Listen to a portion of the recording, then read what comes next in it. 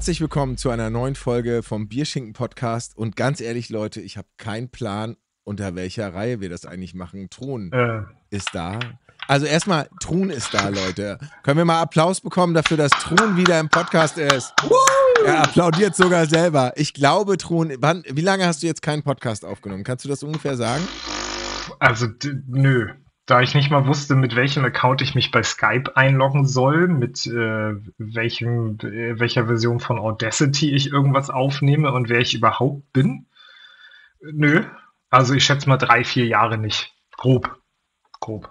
Nee, das kann nicht sein, weil unsere Gäste, die wir heute da haben, waren das letzte Mal vor zwei Jahren da. Das ist überhaupt auch ein absolutes Novum. Das ist das erste Mal, dass äh, ich zumindest Gäste äh, zum zweiten Mal in meinem Podcast habe oder in unserem Podcast tun. Also Mhm. ich entscheide jetzt einmal, das läuft unter Pop, Punk und Politik, ähm, weil ich gerade Lust darauf habe, das so zu machen. Aber wir könnten es eigentlich auch, aber das ist eigentlich die bessere Idee. Wir machen es noch besser. Ich hacke einfach die Reihe, die neueste Reihe beim Bierschinken Podcast, nämlich Soko Links verhört. Haha, das ist eine Folge von Soko Links äh, verhört und wir drehen es um auf äh, sozusagen auf, auf dem Ver äh, gegenüber auf der anderen Seite im Verhörraum sitzen nämlich Siko und Oxhorn von äh, Soko Links. Herzlich willkommen, ihr beide. Schön, dass ihr wieder da seid. Ähm, es ist immer eine Freude, euch zu sehen und es ist immer eine Freude, mit euch einen Podcast aufzumachen, Hallo. aufzunehmen. Hallo. Ja, geben, gehen wir zurück. Wir freuen uns auch War sehr. nie wirklich weg. Ihr seid nicht nur, dass ihr schon das zweite Mal als Gäste im Podcast seid, es gibt sogar einen eigenen Podcast über euer erstes Album. Also ihr seid wirklich schon, man könnte Bierschinken fast ein bisschen unterstellen, dass wir euch so ein, dass wir so ein bisschen euch hofieren oder so. Also dass ihr hier so ein bisschen. Aber Ja. Und ich musste aber gerade sogar, um, um eure neue aktuelle Platte, über die wir ja heute ein bisschen reden werden, um die zu bekommen, musste ich bei Bunks, musste ich tauschen bei Bunks, ne? Also nur, um, ne? Also, und Bunks hat mir gerade mich daran erinnert, dass ich sie noch nicht abgeholt habe. Der Aber das werde ich jetzt tun, die Tage. Ja. Mm. Und die Platten, die ihr uns versprochen habt beim letzten vor zwei Jahren, die habe ich immer noch nicht. Also, so, so viel wie der, äh, dazu, wie das hier mit, der- mit der, mit der Kooperation äh, äh, sonst so funktioniert. Du darfst also, dich- mal, hofiert wird hier mal, ganz, mal ganz ehrlich, ich äh, habe ja auch Aufgaben von euch übernommen beim Bierschinken. Ne? Ich habe jetzt auch schon vier Folgen gemacht, weil ihr zu faul seid. Da geht es vor allem um Trun, um dich. Wegen, wegen dir gibt es ja, Ja, diese. naja, sagen, wegen dir eigentlich gibt es ja. fünf Folgen. Wegen, es, äh, nee, vier. mh. Jetzt ist die fünfte. ja, aber heute, genau, jetzt ist die Heute- fünfte. Ne? Das, Ja. deswegen. Ja, ja. Deswegen ist auch gut, dass du Mhm. jetzt wenigstens mal da bist, nachdem ich deine Arbeit mache. Genau, da kannst du mich jetzt Also fragen, wie es gewesen wäre, wenn ich meine Arbeit gemacht hätte. Dann machen wir so einen fiktiven Meta-Podcast über Sachen, die gar nicht Ich mach's sind. kurz. Ich mach's kurz, war super. Du hast deine Arbeit, wenn du ich gewesen wärst, richtig gut gemacht. Oh, danke. Das ist nett. Schön. Guck mal. Mir, mir fällt übrigens dabei auf, hätte Trun lange Haare, dann sähe er aus wie einer von Park and Riot. Also, das, äh, so, oder? Ja, so stimmt. Diesem, so Ja. Bart und so. Ja. Auch Der war übrigens sehr gut. Also ist überhaupt nicht meine Musik Park and Riot, aber das war ein sehr sympathischer Podcast. Also die Jungs waren sehr Das sympathisch. ist eine richtig geile die Leistung. Moderation jetzt nicht so, aber die Band war richtig gut. Nee, äh, das sind echt, echt liebe Menschen. also Das sind echt liebe Menschen. Die sind sogar so lieb, dass die jetzt äh, 50 Prozent von di sich äh, uns ausleihen. Also Sammy wird jetzt für die nächsten vier Konzerte bei uns auch Schlagzeug spielen. Weil das einfach matcht. keine Namen. Rein menschlich. Keine Namen, bitte. Doch, doch, Sammy schon. Weil Sammy darf auch gern Mhm. äh, ohne Maske auftreten. Das haben wir so besprochen, weil er ja erstmal nur ist. Ach, Ah. naja, und mit dem, mit diesem Bart und diesen Haaren, die kriegt er ja auch gar nicht unter die Maske runter. Ja, also, eben, eben. Das sieht doch voll albern aus. so. Ich werde es trotzdem, ich außerdem- trotzdem bei den Proben versuchen, ihn dazu zu überreden. Das weiß Siko Ja, noch nicht. Hi Siko. äh, Hallo. Wir sind ja auch bloß in der na, wie geht's dir? Internetwelt. Ja. Hi. Seid ihr denn so ein bisschen flexibel, was die Masken angeht? Kann er sich auch einfach selber eine Maske malen oder basteln so? wenn er Ja, sich klar. eine Aldi-Tüte aufsetzen will, ist das für mich in Ordnung. das Wenn ist er aber rumlaufen möchte wie- technisch gefährlich. Ne? Das äh, müsste. Na, da kann man ja, aber nur ja ein Loch unten drin. Aber, aber es wäre nur für ihn gefährlich. Und Aber was er ist, könnte wenn auch eine rumlaufen- Hasseröder-Tüte aufsetzt? Schweigen. Ist, Hm. ja, ist krass mit der Latenz, oder? Ja.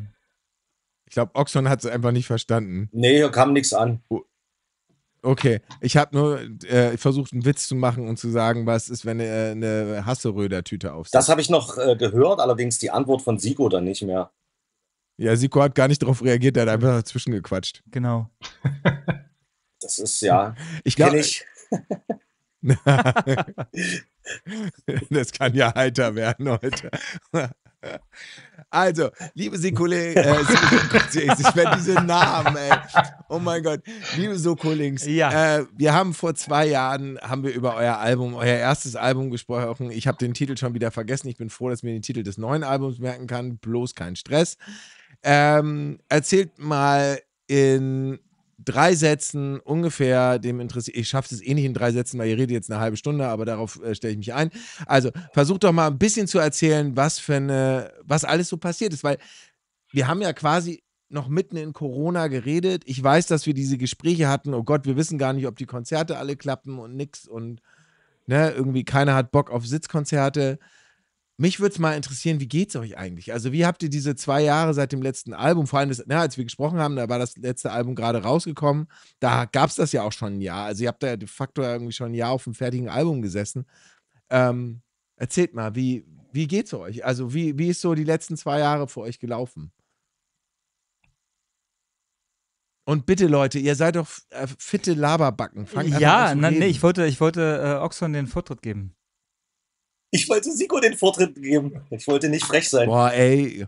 Wir wollten Ey, einfach beide, wir, Fangt ja, wir, wir haben, wir haben so eine- beide einen Höflichkeitskurs belegt, tut nicht so, ohne, als ohne zu wissen, dass der höflich. andere das auch gemacht hat. Und da heißt es erstmal ab, was, was der andere sagt. Aber gut, dann mache ich es halt. Ja, hallo, erstmal schön für die Einladung. Danke. Ich freue mich, euch auch wiederzusehen. Auch wenn Trun jetzt aussieht wie einer von Park and Riot, aber das ist egal. Ich erkenne ihn trotzdem wieder.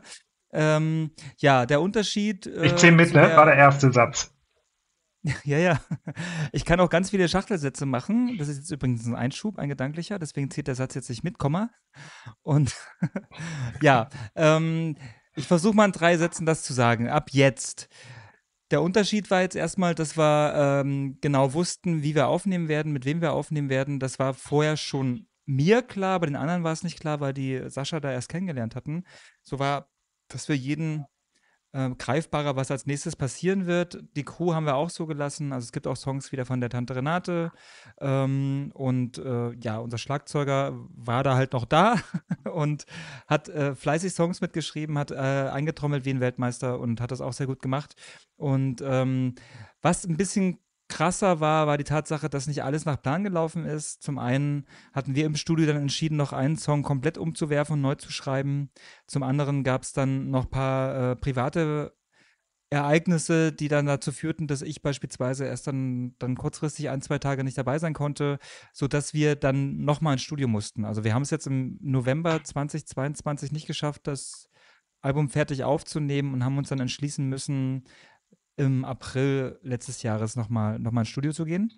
Und ja, das war erstmal blöd, hat sich aber dann doch irgendwie als Glücksgriff herausgestellt, weil wir dann nochmal die Möglichkeit hatten, an den Songs so ein bisschen zu schrauben, was den Vorteil hatte, dass drei Songs auf alle Fälle wesentlich besser geworden sind, als wenn wir im November fertig geworden wären. Okay, La lass mich mal ganz kurz eine Frage stellen ähm, äh, an der Stelle. Also erstens erstmal danke. Für, für, ich, äh, du greifst mir ein bisschen zu sehr vor. Mich würde noch mal interessieren, bevor wir jetzt so einsteigen, auch gerade Aufnahmeprozess des neuen Albums, weil da gibt es echt eine Menge zu erzählen zu. Äh, mich würde mal interessieren, wir, wie gesagt, wir haben ja während Corona das letzte Mal wirklich geredet. Also wir waren noch mitten eigentlich in diesem ganzen Pandemie-Lockdown-Ding. Ähm, mir wird's, also wie, wie, wa- was ist so ein bisschen passiert? Ihr seid dann ja eigentlich, also quasi, ich, wann war das? Ja, genau, im 2021, nee, 2022 haben wir gesprochen. Ähm, aber wie war denn so, was ist, äh, was ist denn so passiert dann für euch erstmal? Also was, was habt ihr für Konzerte gespielt? Wie, wie, wie ist es eigentlich losgegangen? Weil ich habe euch zum Beispiel das erste Mal live gesehen, erst im Januar 2023. Das war das erste Mal live im Schokoladen. Aber jetzt, äh, äh, Oxon meldet sich schon ganz brav, wie in der Schule, wie er es gelernt hat. In der Oberfachschule irgendwo in Sachsen, richtig? Äh, nein. Ach so, okay. Ja, wie ging das? äh, Wie ging das damals nach dem Interview weiter? Corona war ja noch irgendwie so ein bisschen in der Hochphase, aber dann tatsächlich für uns schon am Auslaufen. Wir haben dann 2022 doch noch etliche Konzerte spielen können. War auch zum Glück kein einziges Sitzkonzert dabei. Und äh, wir hatten dann, ich weiß gar nicht, ob das nach unserem Interview war, hatten wir eine Booking-Firma bekommen, Plastic Bomb Booking. Der Bonnie hat Mhm. äh, uns quasi übernommen und hat uns für 2023 auch sehr gut vollgepackt. Also wir haben dann Ende 22 ein bisschen was gespielt und 23 richtig, richtig viel. Wie viele, weißt du das? Wie bitte? Weißt du, wie viele Konzerte es waren? 23? Ja, 27 oder so? Also Okay, amtlich. Ich höre nichts. ja, also mehr so, als genau was. Ja, mehr, nee, eben. Also mehr als 30 waren es nicht, aber ähm, wir haben schon so, so viel gespielt, dass es sich erstmal gut angefühlt hat, für die, für die meisten in der Band zumindest. Und ähm, ja, da haben wir natürlich Lust, da irgendwie anzuknüpfen. Leider hat unsere Booking-Firma, also in dem Fall Bonnie, einen neuen Job gehabt. Das hat dann dazu geführt, dass er sich umorientieren musste, bedeutete, dass er uns dann leider den Korb geben musste, weil er jobmäßig einfach nicht mehr hinterherkam, uns parallel zu buchen. Und somit haben wir jetzt eine neue Booking-Firma, das wäre ähm, The Living Proof Agency, wo wir jetzt untergekommen sind. Ähm, die haben natürlich jetzt dadurch, dass das erst so im Februar losging und die Entscheidung gefallen ist, dieses Jahr jetzt gar nicht mehr so viel machen können, weil da ja schon die Planung bei Festivals Mhm. etc. meistens schon durch war. Die ähm, bearbeiten aber jetzt die ganzen Anfragen, die reinkommen und planen für nächstes Jahr uns jeden hoffentlich einen guten Festivalsommer. Es ist eine Tour geplant fürs Frühjahr. Und ja, da sind wir einfach mal gespannt, wie sich das entwickeln wird. Für dieses Jahr spielen wir das, was reinkommt, was angefragt wird und was für uns machbar ist. Und dann hoffen wir mal, dass es dann nächstes Jahr live-mäßig dann geordneter und äh, ja, einfach für uns doch mal ein bisschen, bisschen vorangeht. Mhm. Ähm, du hast es gerade angesprochen, was mich ja sehr, ein bisschen interessieren würde. Äh, das war jetzt schon mehrfach Thema auch. Äh, euer, euer eigentlicher Sch, äh, Schlagzeuger hat ja so ein bisschen gesagt, nee, das ist mir gerade zu viel oder ich ähm, möchte mich da ein bisschen zurückziehen oder rausziehen. Ähm, was hat denn das mit euch? Ihr habt, also, ihr habt ja selber gesagt, ihr habt ja relativ viel gespielt, auch, auch 22 noch.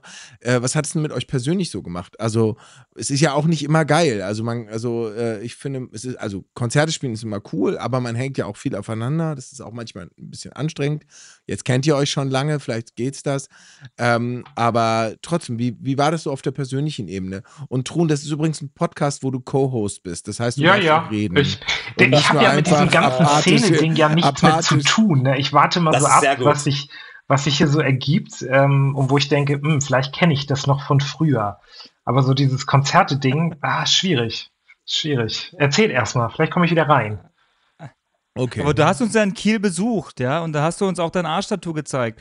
Da warst du noch voll drin in der Szene und hast auch richtig Das losgelegt, ja, und hast, wir kann, wir haben uns das erste Mal gesehen und schon hatte ich deinen Arsch in der Fresse. Also was willst du mir erzählen? Du kannst, so lange ist es auch noch nicht her. Wann war das denn? War das, war das Anfang 23? Ja.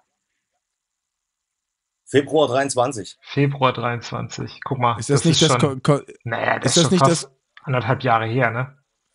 aber ist das nicht das Konzert Oxon, wo du dir irgendwie den Fuß gebrochen hast oder irgend sowas? Na, angeknackst, ja, gebrochen nicht. Aber äh, ich bin von der Bühne abgerutscht und habe, Mhm. äh, ich weiß nicht, was da war, Prellung oder irgendwas. Äh, mussten dann auf jeden Fall das Konzert vorzeitig abbrechen. Ah ja. Okay. Gut, so viel zum, wie es euch persönlich so mit den Sachen ging. Schwere nee, also nochmal zurück zu, de- zu deiner Frage. Ich versuche sie mal einzufangen wieder. Ähm, also mir persönlich, ich kann jetzt nur für mich reden, hat das echt viel Spaß gemacht. Ähm, für mich hätte es auch mehr Konzerte geben können. Aufgrund beruflicher Situation war das dann nur bedingt möglich, aber alles, was irgendwie möglich war, haben wir soweit gespielt. Ähm, ich glaube, da sind Oxon und ich uns auch einig, dass wir das gerne beibehalten wollen. Wenn es ein bisschen mehr wird, ist dann auch keiner böse, insofern das machbar ist, mit privaten und beruflichem das äh, zusammenzubringen. Ähm, unser, also in dem Fall Nix, hat dann irgendwann für sich entschieden, dass ihm das zu viel ist mit der Spielerei und hat er gemeint, dass er nicht mehr live spielt. Dann hatten wir eine kurze Diskussion, also in dem Fall Oxon und ich, äh, wie wir damit umgehen wollen, weil wirklich ausgestiegen war er zu dem Zeitpunkt nicht. Ähm, für uns beide hat sich das aber so angehört, weil für uns natürlich eine Band, eine Band ist, wo alle irgendwie das machen, wofür sie auch da sind. Jetzt ein Schlagzeuger, der nicht Mhm. live spielt, äh, war dann so ein bisschen, naja, ja, hm, ja, da haben wir so ein bisschen ausgehandelt, äh, was daran lag, dass das, äh, ja, dass das nix aber so ein bisschen vorbelastet war gesundheitlich und da haben wir gesagt, okay, wir wollen ihm jetzt irgendwie ähm, nicht was nehmen aus gesundheitlichen Gründen, sondern wir gucken mal, wie wir das irgendwie hinkriegen, dass wir, dass er Teil der Band bleiben kann, weil wir ihn auch unheimlich sympathisch finden und ihn auch, auch ja, sehr, sehr ans Herz, er uns sehr ans Herz gewachsen war und immer noch ist. Äh, und, und dann haben wir probiert, da irgendwie eine Lösung zu finden. Und die Lösung sah dann so aus, dass wir dann einen Live-Schlagzeuger uns besorgt haben, haben versucht, alles so klar wie möglich zu kommunizieren, was die Aufgabenverteilung ist. Der Live-Schlagzeuger eben nur für Live und alles andere, was dann neben Live-Spielen passiert, eben dann noch bei Nix liegt. Und während mhm. der Phase, wo wir beide Schlagzeuger hatten, haben Oxo und ich dann irgendwie so festgestellt, nee, na, so wirklich funktionieren tut das nicht, weil der Mensch, der die meiste Arbeit hat, am wenigsten gesehen wird, was jetzt die Schlagzeuger betrifft. Und so hat sich dann so allmählich ja. dann herauskristallisiert, dass diese Art und Weise, eine Band zu führen, offensichtlich nicht so gut funktioniert. Und ähm, ja, und dann kamen wir dann irgendwann zu der Erkenntnis und zu der Entscheidung, dass es jetzt wohl besser ist, jetzt ähm, erstmal keinen Schlagzeuger zu haben, zumindest keinen festen, äh, erstmal alles so zu planen, dass wir, dass wir jetzt die Konzerte, die, die ange, angestrebt sind, die wir jetzt auch schon gebucht ja. haben und die auch fest zugesagt haben, dass wir die alle gefüllt kriegen mit Ersatzschlagzeugern, wie eben zum Beispiel Sammy, aber vielleicht kommen noch andere dazu. Und dann haben wir noch uns jetzt überlegt, also Oxfam und ich, dass wir jetzt bis Ende des Jahres uns dann wirklich auf die Suche begeben, dass wir dann wieder einen richtig festen Drummer, Drummerin, also alle sind eingeladen, die Schlagzeug spielen und in der Nähe von Leipzig wohnen, sich äh, bei uns zu melden und wollen einfach dann mit einem mit neuen Schlagzeuger, mit einer neuen Schlagzeugerin und alles, was dazwischen ist, ähm, ja, einfach dann nochmal neu starten und loslegen. Ja. Mhm. Wie würdest du das oder wie würdet ihr das bewerten? Ihr beide kennt euch ja jetzt schon eine, äh, fast, glaube ich, euer ganzes Leben. Ihr seid schon ewig lange, macht die Musik zusammen und kennt euch. Ähm, ist es leicht für jemanden von außen reinzukommen in dieses Konstrukt? Also äh, mal ganz ehrlich betrachtet, ist das, äh, ist das was, wo ihr sagen würdet, ja, ja, wir sind da schon offen oder äh, boah, hm, ist schon auch tough Job? Stelle ich mir als Außenstehenden schon tatsächlich sehr schwierig vor. Also wir sind ja nur zwei Typen, die uns irgendwie äh, 30 Jahre kennen oder was. Und äh, da hat man natürlich auch so seine Abläufe. Ähm, das ist, glaube ich, schon schwierig, wenn du bei uns einfach mitmachen willst. Also du kannst dich nicht an unsere dämlichen Gags ranhängen. Das ist etwas, was nicht funktioniert. Ja. Yeah. Ich glaube, äh, man sollte schon irgendwie menschlich, glaube ich, schon eher das, das Scharnier sein und dann mal schauen, äh, wo man sich da positioniert. Also gar nicht so vorpreschen, denke ich am Anfang. Okay. Also quasi der Aber wie das bei, bei Menschen halt auch immer ist, äh, die Chemie muss halt stimmen, so, ne? Das, yeah. Ähm, ja. Aber ihr seid ja auch nur zwei. Also es ist ja, glaube ich, nochmal deutlich anstrengender, wenn du in irgendwie ein größeres Bandkonstrukt reinkommst, als nur bei euch zwei Hanseln. Ich weiß nicht, ob das jetzt einfacher ist, weil äh, wenn du, ich sag mal, in eine Band einsteigst zum Beispiel, was ist ich, die Toten Hosen schmeißen jetzt Campino raus und, ähm, und ähm, die suchen jetzt einen neuen äh, äh Sänger für die große Helene Fischer Schlagershow auf MDR. Und ähm, dann kommst du dazu, dann hast du immer, da hast du vier Leute, mit denen du äh, andocken kannst. Also wenn du dich vielleicht irgendwie mit dem Schlagzeuger nicht so gut verstehst, was ich mir bei den Hosen jetzt nicht vorstellen kann. Ich glaube, mit dem versteht sich jeder. Aber wenn dich jetzt mit dem Drama nicht gut verstehst, hast du vielleicht noch den, den Bassisten, die Gitarristin, du hast irgendwo eine Person. Bei uns beiden ist es aber so, äh, in, in, diese Zweierkonstellation ja. reinzukommen, ist, glaube ich, wesentlich schwieriger. Ja. Ja, so stelle ich mir das vor, von, von außen betrachtet. Ich hatte jetzt, äh, kann jetzt mal nur für nichts reden, weil er bisher der einzige feste Schlagzeuger war.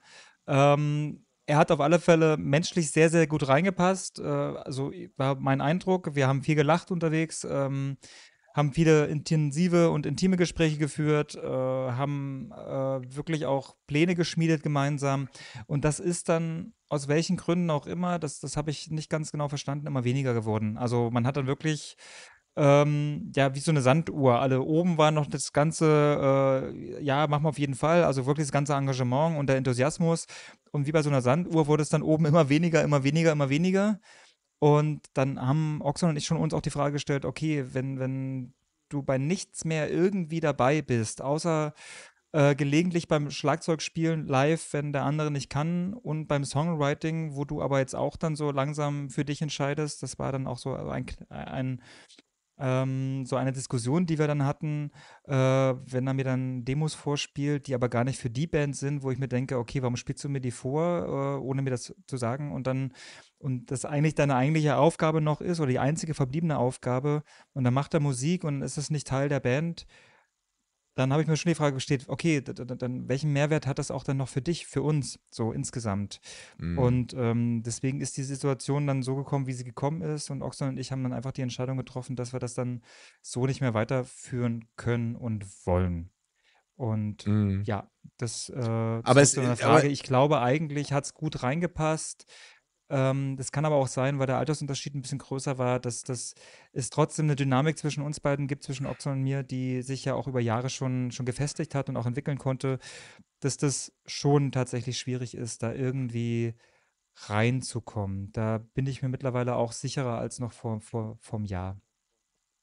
Mhm. Also wenn man zwei Krawallmacher in der Band hat, brauchst du halt keinen dritten. Ne? Dann brauchst du schon eher äh, vielleicht eine Waage, die beide Personen äh, verteilen kann mhm. auf die mhm. linke und auf die rechte Seite. Wenn die dritte mhm. Person halt auch ein Krawallmacher ist, dann wird es, glaube ich, menschlich schwierig. Na, es ist spannend. Ich musste hatte sofort diese Assoziation mit Rod Gonzales, der ja bei den Ärzten Anfang der 90er eingestiegen ist. Da jetzt haben wir es wieder, das Farin-Urlaub-Thema, was ihr auch mit der neuen Platte nicht losgeworden seid. Also, ey, ey, also wenn er Zeit, also ich weiß ja auch, dass er gut Schlagzeug spielen kann. Also wenn er Zeit hat und Lust, kann er, gern, kann, er, kann, kann, er gern, kann er gern mitmachen, weil äh, also auch wenn es einen blöden Grund hat, einen traurigen Grund, aber ähm, abwärts ist jetzt auch Geschichte. Insofern hätte er jetzt Zeit. Ja bei uns Schlagzeug zu spielen. Ja. Wahrscheinlich hat er das tatsächlich. Ich meine, so viel spielen die Ärzte ja nicht. Ey, Rott, wir, suchen, wir, ja. wir, suchen einen neuen Schlagzeuger. Soko Links sucht einen neuen Schlagzeuger, eine neue Schlagzeugerin. Rott, wenn du Bock hast, komm einfach vorbei. Unsere Telefonnummer steht bestimmt im Internet. Und wenn du einfach noch Bock hast, Merch bei uns zu machen, äh, da suchen wir auch immer fitte Leute. Von daher fühl dich aufgerufen, Aber uns anzurufen. Ähm, ja. Aber was mich, was ich tatsächlich ganz spannend finde, und äh, das ist ein Thema, das ist mir jetzt in der Vorbereitung, äh, die zugegebenerweise etwas knapp war, ähm, aber ist mir ein Thema aufgefallen, ähm, das ich gerne ansprechen wollte. Und also wir haben ja schon das, also ne, ihr beide kennt euch seit über 30 Jahren oder 30 Jahre jetzt. Ähm, ihr kommt aus dem, oder ihr kommt zumindest aus derselben Gegend, ich glaube sogar aus demselben Ort. Ähm, mich hat mal, mich hab, ich habe mich gefragt, inwiefern auch so eine Biografie, äh, Siko, du hast es in einem Interview gesagt, du bist aus eher ja, finanziell äh, schwach aufgestellter Familie gekommen. Mich habe mich, hab mich mal gefragt, eigentlich, wie, ähm, wie so diese eigene soziale Biografie oder auch finanzielle Biografie, wie die eigentlich einen so zusammenschweißt, wenn man zum Beispiel jetzt so eine Punkband oder Punkbands hat, wie ihr das habt. Also versteht ihr, worauf ich hinaus will? Also ein bisschen ich, mehr. Ich glaube als, schon. Ja. Äh, ich würde da vielleicht andocken, weil ich glaube, dich verstanden zu haben. Du darfst mich gerne unterbrechen, falls du mitbekommst, dass ich dich nicht richtig verstanden habe. und zwar, ähm, ähm, Oxon und ich haben schon auch ähnliche Biografie Brüche, so generell auch so, so, so Sachen, wo wir frühzeitig auch miteinander andocken konnten, wo wir persönlich miteinander auch sprechen konnten und uns auch austauschen konnten. Hinzu kommt, dass wir beide keine musikalische Früherziehung genossen haben, was bei mir zumindest an finanziellen Gründen lag, dass das nicht ging. Oxern war das Problem genauso vertreten, sodass wir, als wir uns kennenlernten und uns entschieden hatten, Musik zu machen, das war so Ende der fünften, Anfang der sechsten Klasse, äh, war das musikalische Know-how einfach ähnlich. also nicht vorhanden. Und äh, insofern hat uns das beide schon auch geprägt, weil wir niemanden hatten, der so weit vorausgeschritten war, dass man selber dann demotiviert irgendwo dann an der Seite Platz nahm, sondern wir beide konnten uns messen, konnten in einen Wettstreit gehen ohne dass man das Gefühl hatte, jemanden also, abzuhängen. Siko, du bist bei mir zumindest gerade total abgehackt, jo, leider. Das ist hier auch ja. so. Die letzten fünf Sätze waren leider nicht zu verstehen. Okay, äh, ist es also immer noch zuletzt, du, ihr habt dann Ende fünfter, sechster. Äh. Nee, jetzt ist wieder gut. Ende fünfter, sechster Klasse habt ihr angefangen, Musik zu machen und es scheiterte auch an den finanziellen äh, Möglichkeiten. Genau, und dadurch, dass wir keine musikalische Ausbildung hatten, beide, ähm, haben wir ja. auf, demselben, auf demselben Level begonnen und das wiederum führte dazu, dass wir jetzt zwar im Wettstreit irgendwie getreten sind, aber nie jemand so vorausgeschritten war, dass der andere sich dann demotiviert äh, beiseite nahm und da irgendwie okay. ja, sich abgehängt fühlte. Das ist nicht passiert.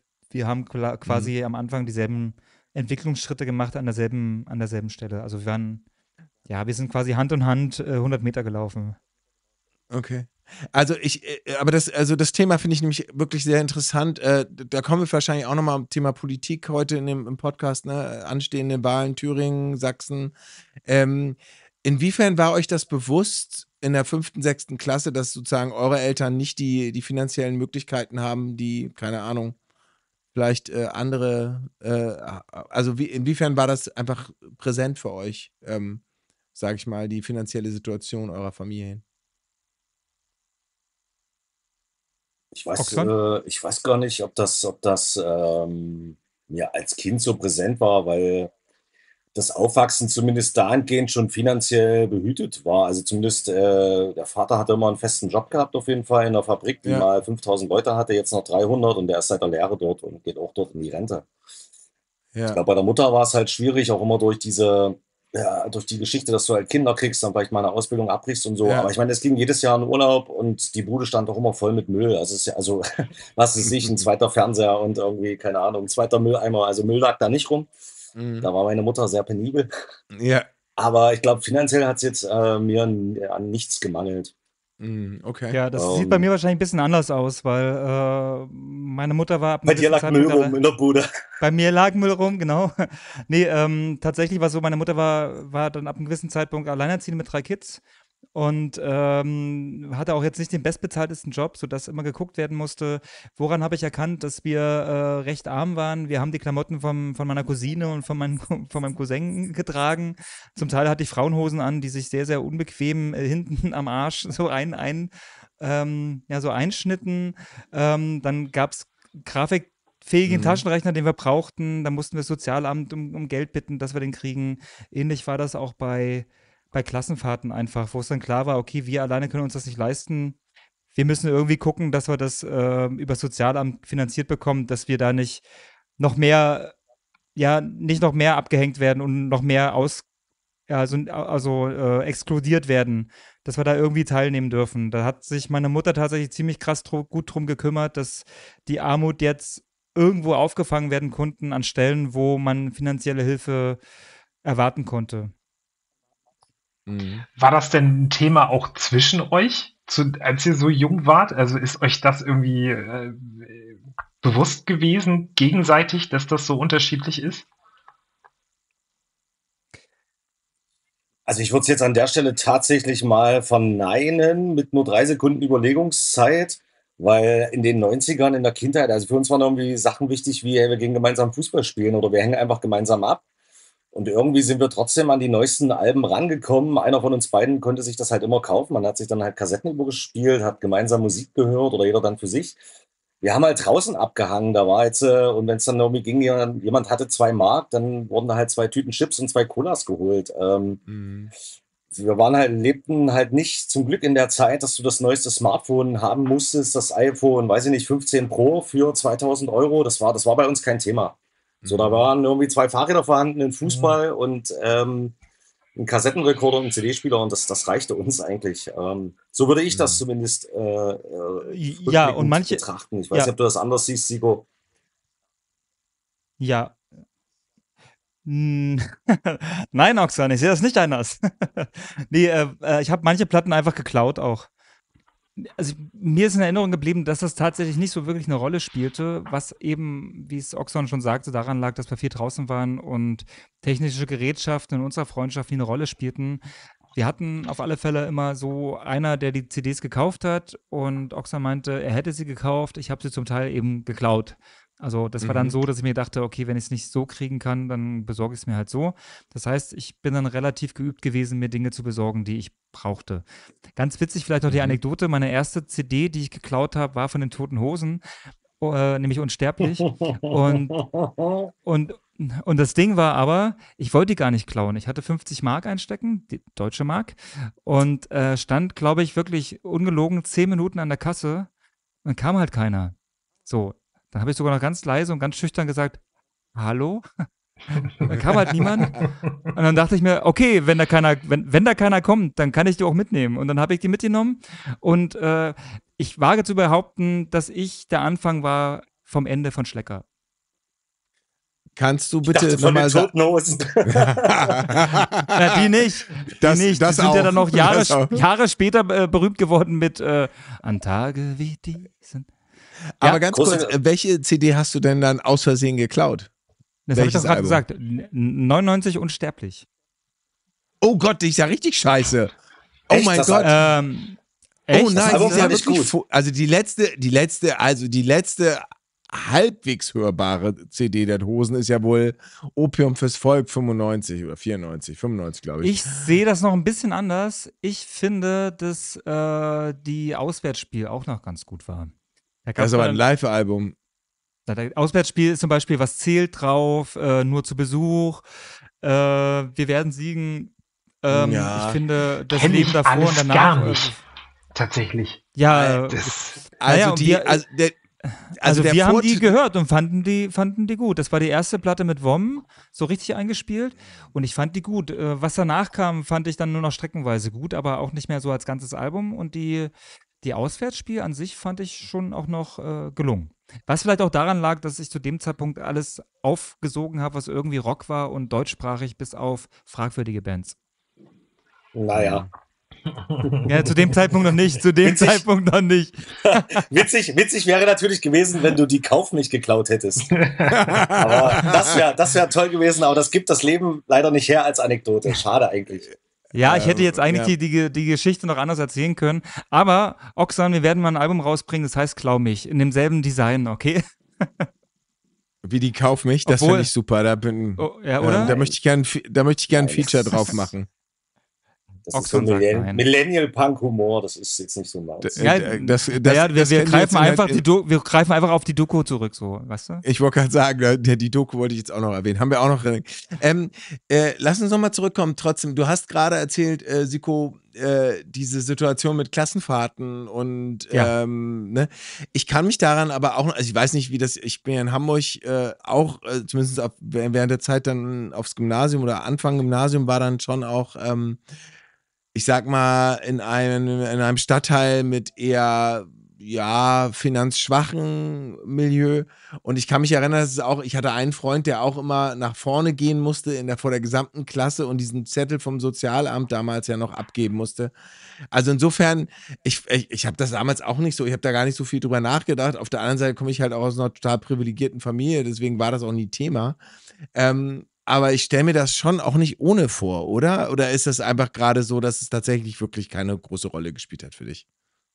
Naja, äh, wir haben jetzt gerade von einer Freundschaft gesprochen zwischen Oxon und mir. Da hat Ja. es tatsächlich wenig eine Rolle gespielt, aber so prinzipiell, was so das Urlaubfahren betraf oder betrifft, ja, betraf, äh, war es dann schon so, dass es auffiel, dass alle anderen irgendwie weg, weggeflogen sind oder irgendwie im Ausland waren.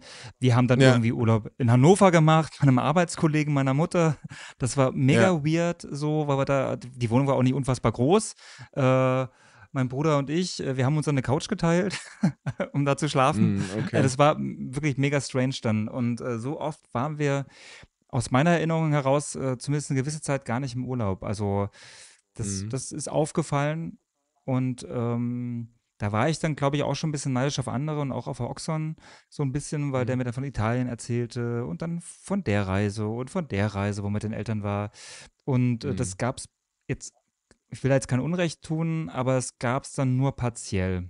Und wenn, Ja. dann meistens dann auch nicht so wirklich in, äh, also spätestens als, äh, ja, ich sag's mal, spätestens als, als äh, der Vater dann nicht mehr da war und in der im familiären Kosmos gar keine Rolle mehr spielte, äh, war das Geld eben so eng, ge, eng gesät, dass wir da eh andere Sorgen hatten, dass, dass wir froh waren, dass überhaupt genug Essen da war, um es mal so zu formulieren.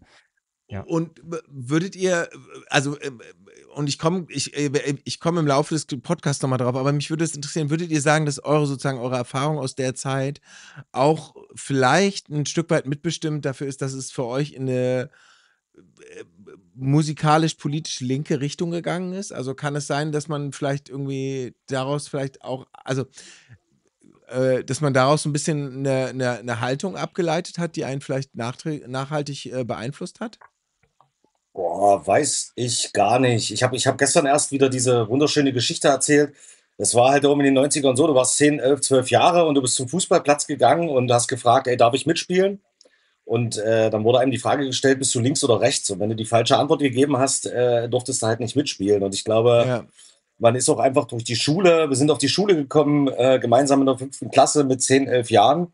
Und da ja. gab es eine herrliche Gruppe Punks und äh, das fanden wir schon immer anziehend, während wir die Faschos halt abstoßend fanden. Und ich glaube, das hat sich dann einfach relativ schnell halt einfach in die Richtung entwickelt. Und irgendwann wird man halt logischerweise schnell auch politisch. Gerade wenn du halt immer von, von Faschos irgendwie gejagt wirst, aufs Maul kriegst, äh, hat man ja, glaube ich, im letzten Podcast vor zwei Jahren ausführlich auch thematisiert. Ja, ja, genau. Das war dann gar keine Frage mehr. Das, ähm, weiß nicht, vielleicht ist es auch Glück. Vielleicht äh, wären wir auch Faschos geworden, wenn wir die andere, wenn dort ein paar Nazis Fußball gespielt hätten. Ich weiß es nicht. Ähm, aber ist es dann also, dem äh, sag mal so, uns haben, uns haben, uns oh, haben die Nazis. Tun sag was. Ja, aber Entschuldigung, jetzt bin ich ins Wort gefallen. Nee, aber ich wollte in dem Punkt mal kurz einhaken. Äh, bei uns im, im Dorf, äh, also, also Oxon kommt ja aus der nächstgrößeren Stadt. Äh, ich komme eher so aus dem Dorf. Und die Faschos vor Ort und auch die, die äh, welche hätten werden sollen noch, also die später welche geworden sind, die haben uns das relativ einfach gemacht, uns zu entscheiden. Die haben uns einfach nicht mitspielen lassen.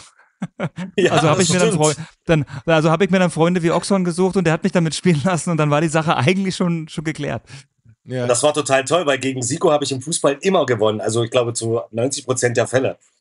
So. Ja, zu 90 Prozent, äh, genau, 10 Prozent möchte ich gerne noch sagen, dass ich die auch gewonnen habe. Wie auch immer, aber ich habe es geschafft. Da war ich aber, aber Trun, so, keine Ahnung.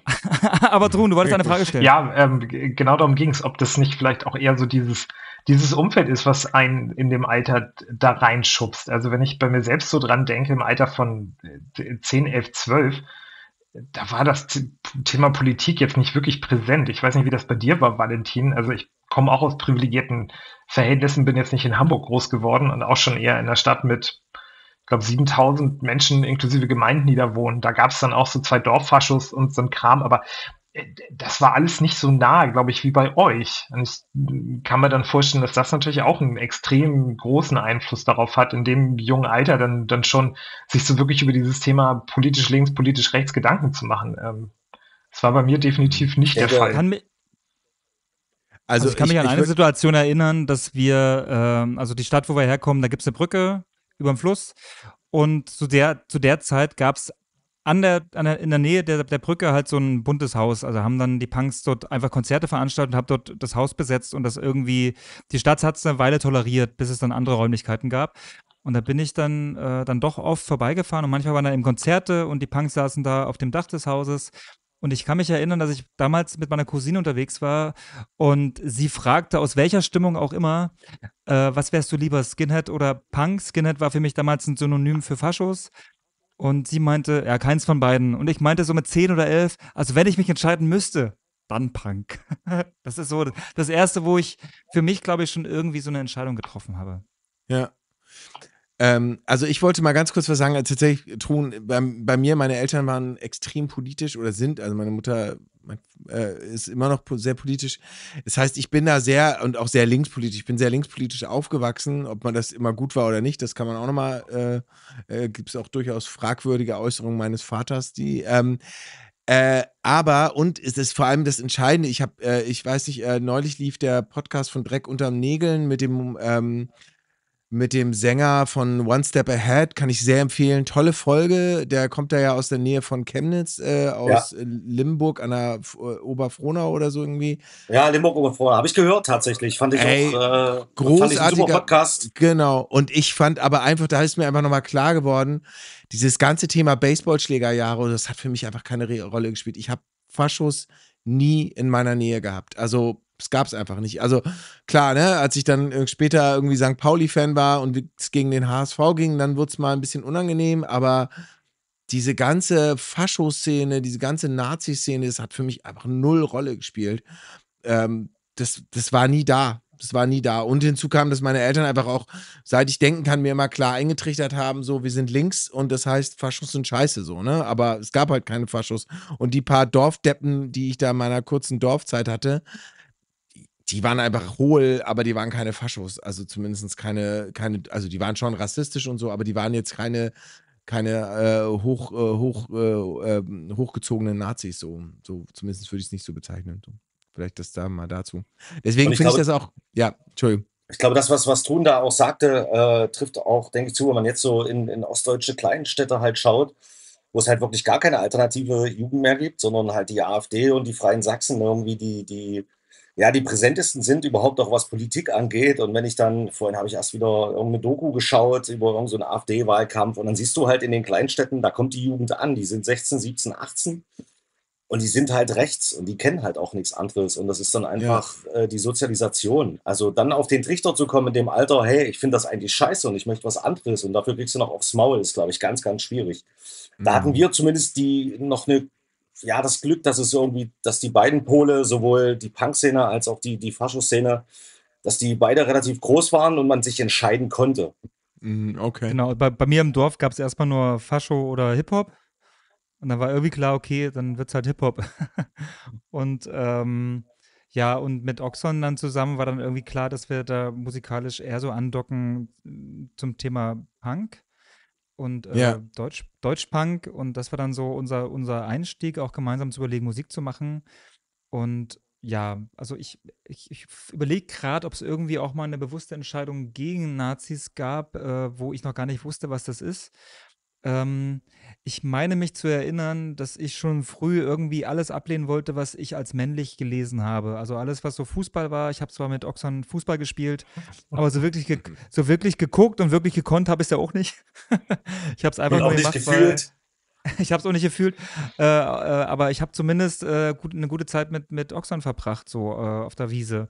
Ja. Ich habe dann immer mich äh, vorführen lassen, aber das war gar nicht so wichtig. Wichtig war, mit einem sehr guten Freund irgendwie Zeit zu verbringen und da ja. irgendwie äh, ja, eine gemeinsame Zeit zu haben, wo man, wo man sich auch aufgehoben, gewertschätzt fühlt und vor allem auch ähm, ja, akzeptiert. Das kenne ich auch in der Familie manchmal nicht so sehr. Deswegen bin ich dabei bei, ja, bei Oxon einfach ziemlich gut aufgehoben gewesen, was immer noch so ist. Und mhm. ich meine, wir kennen uns jetzt fast 30 Jahre und haben in der fünften, Anfang sechsten gesagt, wir machen zusammen Musik und es läuft halt immer noch. Also insofern spricht der, diese Entscheidung, gemeinsam Musik zu machen, ja echt für mhm. sich. Und ja. Äh, ja, also politisch aufgeladen war die Situation immer. Die Baseballschlägerjahre haben wir aus meiner Erinnerung heraus haben wir so die letzten, die letzten Wellen so erlebt und die waren auch nicht wirklich hoch. Also wir haben zwar schon echt brenzlige Situationen erlebt, aber ich habe mich neulich mit dem Sänger von Leukämie unterhalten äh, und der ist ja so knapp zehn Jahre älter als wir. Was der so erlebt hat, äh, ja, das ist äh, meilenweit von dem entfernt, die Geschichten, die wir oder die ich so zu erzählen habe. Da war Gewalt noch mehr an der Tagesordnung als das, was wir erlebt haben in unserer Jugend. Mhm. Ja, das glaube ich gerne. Also das glaube ich gerne. Das ist tatsächlich, glaube ich, auch eine Generationsgeschichte, auch so ein bisschen noch, ne? Ähm, ja. Jetzt hast du ja eingangs schon äh, sehr motiviert über das neue Album gesprochen, äh, äh, Siko, und ich finde es auch cool, weil äh, darum wollen wir ja, das ist ja auch der Anlass, dass wir uns hier mal wieder ähm, äh, in dieser Runde treffen. Ähm, genau, und ich fände es ganz spannend, äh, erzähl doch mal ein bisschen, wie dieses Album entstanden ist, weil ähm, und da würde ich dann äh, im zweiten Schritt drauf kommen, würde ich auch noch mal ein bisschen meinen Eindruck vom Album schildern. Aber ich würde mich jetzt mal interessieren, wie ist dieses Album entstanden? Du hast ja schon ein bisschen über die Produktion gesprochen, aber vielleicht auch noch mal einen Schritt vorher. Wie kamen euch die Songs? Und du hast in einem Interview auch gesagt, äh, oder da kam dieses Thema ja auch auf, ne, soziale, das eigene soziale Aufwachsen, das eigene finanzielle Aufwachsen. Inwiefern hat sich das vielleicht auch in den, äh, in, in Texten wiedergeschlagen? Ähm, naja, das war so, dass wir sehr zufrieden waren mit der Produktion der ersten Platte, so was das Team betraf, was, was ähm, ja, den Ablauf betraf, was das Studio betraf. Da haben wir uns schnell entschieden, dass das gerne nochmal genauso passieren soll. Das war relativ schnell klar. Dann hatten wir eben noch ein paar Songs, die, die eben rumlagen. Also wir hatten ja für die erste Platte, jetzt muss ich lügen, 40, 45 Songs. Manche waren fertig ausge, also manche waren eigentlich fast schon fertig geschrieben, so, die waren als Demo eigentlich schon relativ, äh, relativ vollständig und wurden fast so genommen, wie sie im Demo-Zustand waren. Andere wiederum waren nur als, als Versatz da, so als Ideen. Ähm, da hatten wir, glaube ich, so 40, 45 Songs und da haben wir natürlich nicht alle auf das erste Album packen können und von ah, denen wiederum hatten wir dann auch wieder ein paar rübergenommen und dann nochmal neu diskutiert. Beziehungsweise hatten wir dann die Zeit genutzt, dann nochmal über manche Songs wie Hangover Boy, der ja auch bei der ersten Platte schon da war, nochmal drüber zu gehen, nochmal zu reden, wo wir da hin wollen mit dem Song. Und ja, sodass wir auch wieder eine krasse Anzahl an Songs hatten und dann sind auch noch neue also, Songs entschuldige, worden. ich- Siko, ich muss dich an Und- der Stelle ganz kurz unterbrechen. Was habt ihr denn bitte für einen krassen Output? Also, mal ganz ehrlich, also, wie, wie, wie macht ihr das? Also, äh, Also, äh, ähm, Oxon guckt äh, Oxon guckt gerade mich an. Ähm, das ist, äh, also ich kann dir erzählen, was ich für einen Output habe, warum das so ist. Äh, beim Musizieren, ich liebe alles, jeden Bereich, äh, außer Promo. äh, ich mag auch Interviews geben, alles andere, äh, was außerhalb der Musik ist, ist mal manchmal ein bisschen schwierig für mich. Ähm, aber so prinzipiell schreibe ich schon gern und viel. Und ähm, dann gucke ich mir auch oft an, was Oxon so geschrieben hat. Und dann frage ich immer, du Oxon, darf ich hier weiterschreiben? Kann ich den Song dir in einer anderen Version anbieten? Und dann nickt er meistens, weil er sagt, ja, lass ihn halt machen. Wenn ich jetzt Nein sage, macht das ja trotzdem. und, äh, und, und dann biete ich ihm halt Ja. was an und meistens ähm, treffe ich dann auch seinen Geschmack, hoffe ich. Und zumindest sagt das auch. Und ähm, ja, ich bin da so un ich bin da wirklich so äh, ja, ruhelos. Ich mache das einfach, weil das wirklich auch so ein bisschen mein, mein Kerngeschäft ist, so Texte zu schreiben, Musik zu überlegen. Was mir auch sehr gut gefällt, ist die Idee, auch mit anderen Leuten zu schreiben, die mit dem Bandkosmos jetzt nicht so viel zu tun haben, um Mhm. vielleicht auch Songs voranzubringen. Oder ich habe eine Idee, wie ein Song klingen soll, kann es aber allein nicht umsetzen. Dafür ist dann zum Mhm. Beispiel auch unser Produzent Sascha äh, die her hervorragende Wahl, weil er weiß nicht, wie er es macht, aber der, ich habe immer das Gefühl, der kann mir in den Kopf gucken und sagen, ja, so meintest du es doch. Und ich so, ja, genau so. Das war beispielsweise bei Wer hat damit angefangen so. Ich habe dann ein Demo fertig Ja. gemacht und das hat, ist nicht das geworden, was es werden sollte, aber das war das, was ich machen konnte. Und das habe ich dann Sascha vorgespielt und Sascha hat dann nochmal gesagt, wohin ich eigentlich wollte. Und dann fängt er an, so in einer halben Stunde was zusammenzubauen und dann hat man schon die Grundlage für den Song, der jetzt fertig ist und so wie er jetzt eben Mhm. zu hören ist. So ein bisschen seedlastig, würde ich sagen. Und äh, das hat mir sehr gut gefallen. Und deswegen ja auch wieder Sascha, weil Sascha einfach weiß, was wir wollen. Okay. Spannend. Und man merkt auch einfach, also du hast ja eingangs erwähnt, dass so Hip-Hop ja auch irgendwie zumindest mal eine Rolle gespielt hat. Äh, du hast da ja auch null Berührungsängste, ne? Mit Genre, Genrewechseln, ne? Genau, und äh, ich bin auch sehr dankbar, dass Oxan mich da machen lässt und aber auch mit dem Wissen, dass irgendwas rauscht hier massiv. Aber auch mit dem Wissen, dass er dann auf alle Fälle auch sein Veto einlegt, wenn er komplett dagegen ist. Also da vertraue ich ihm so sehr, dass er sagt, okay, äh, das will ich nicht. Und das ist auch das, warum es funktioniert. Er lässt mich so ein Stück weit machen, lässt mich so ein bisschen von der Kette. Und ich kann den Freiraum nutzen, weil ich weiß, wir haben so viel Vertrauen zueinander, dass er mir dann auch irgendwann sagt, so, äh, jetzt, äh, Siko, jetzt ist aber gut. Aber wenn ihr da so krass eingespielt seid, ähm, jetzt mal eine ganz bescheuerte Frage. Reicht da nicht ein Drumcomputer?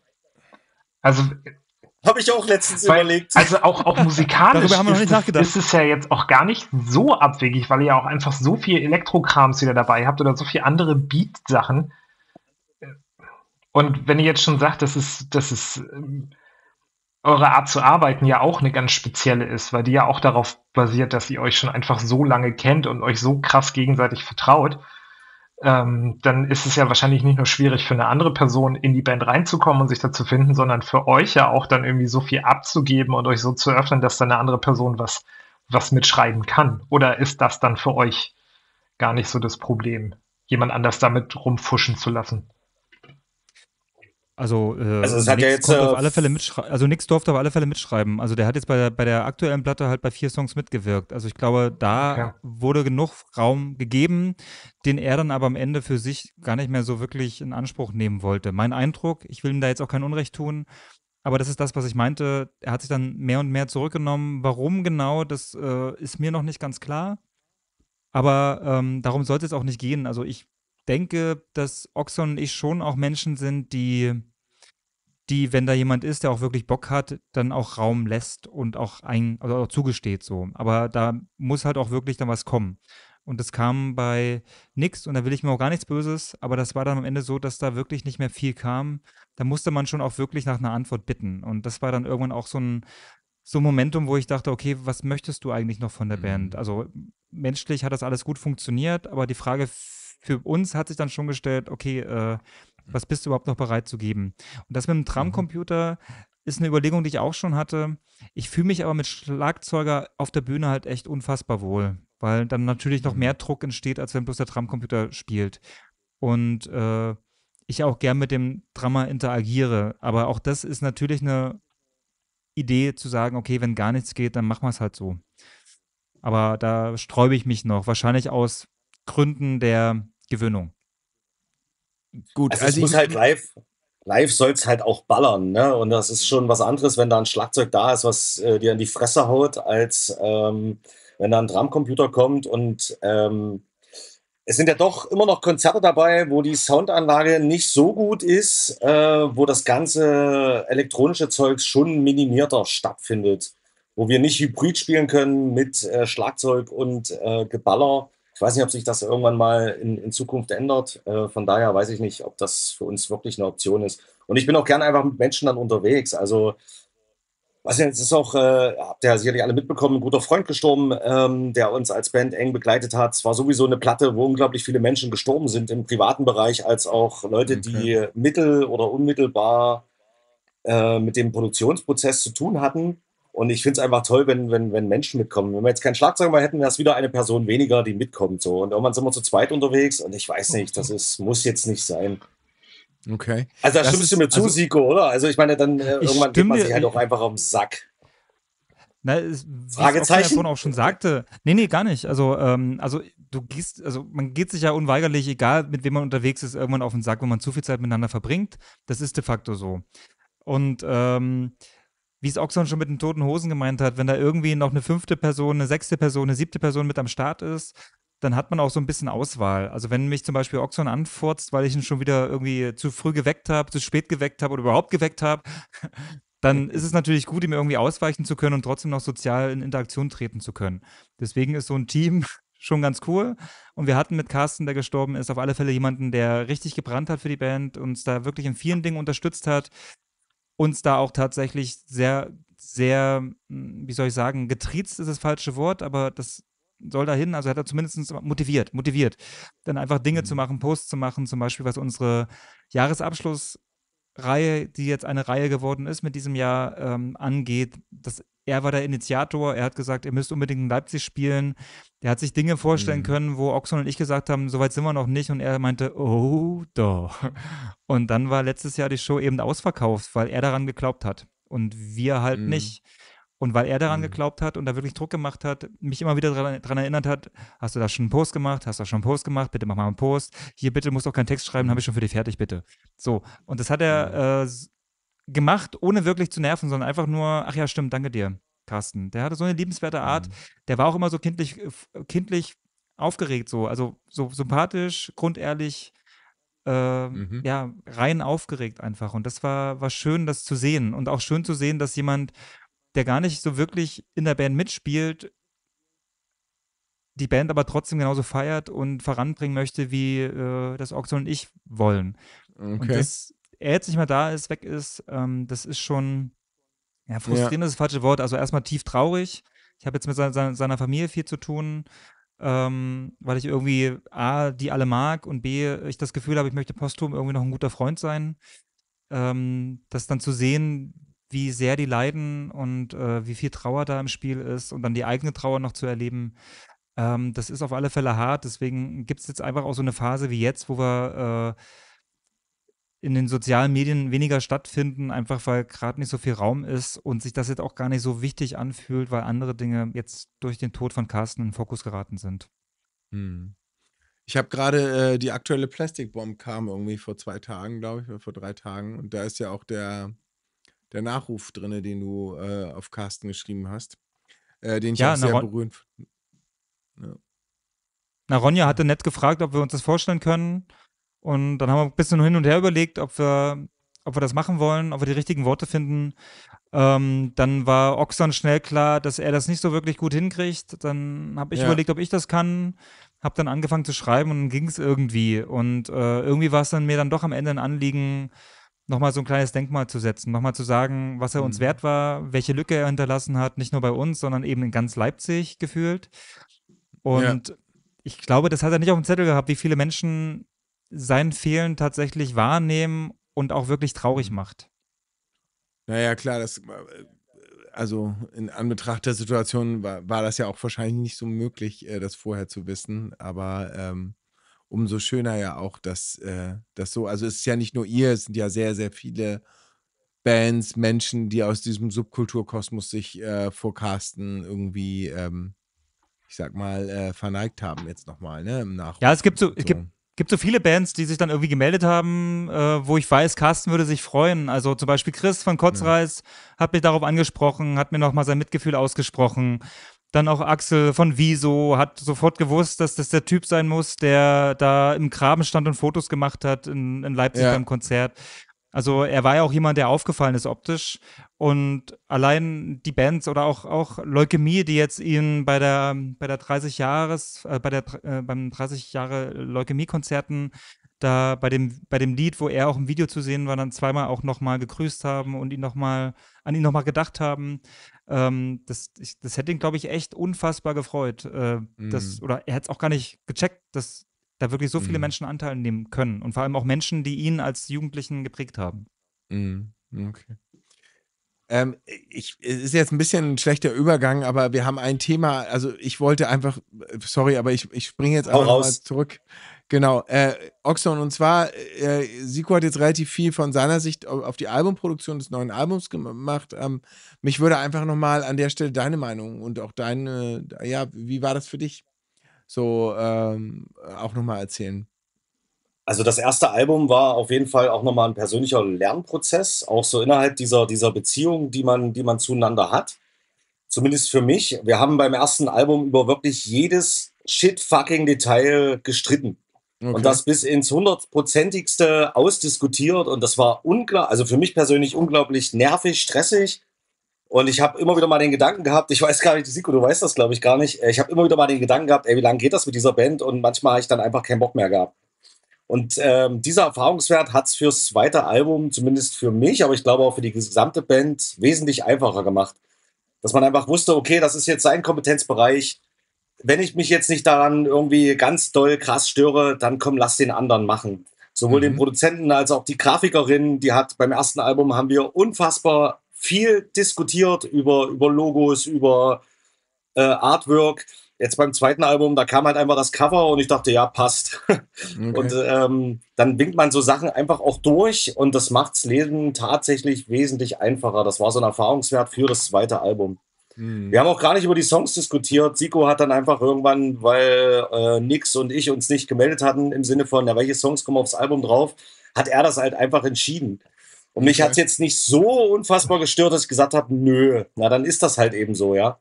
Retrospektiv denke ich jetzt beim aktuellen Album, ah, der Song und der Song, ich habe so zwei Songs, wo ich sage, müssen die drauf, aber hey, die sind drauf und alles ist gut und ähm, okay. bricht mir jetzt keinen Zacken aus der Krone. So. Und äh, das ist so der Erfahrungswert aus dem ersten Album für das zweite Album. Okay.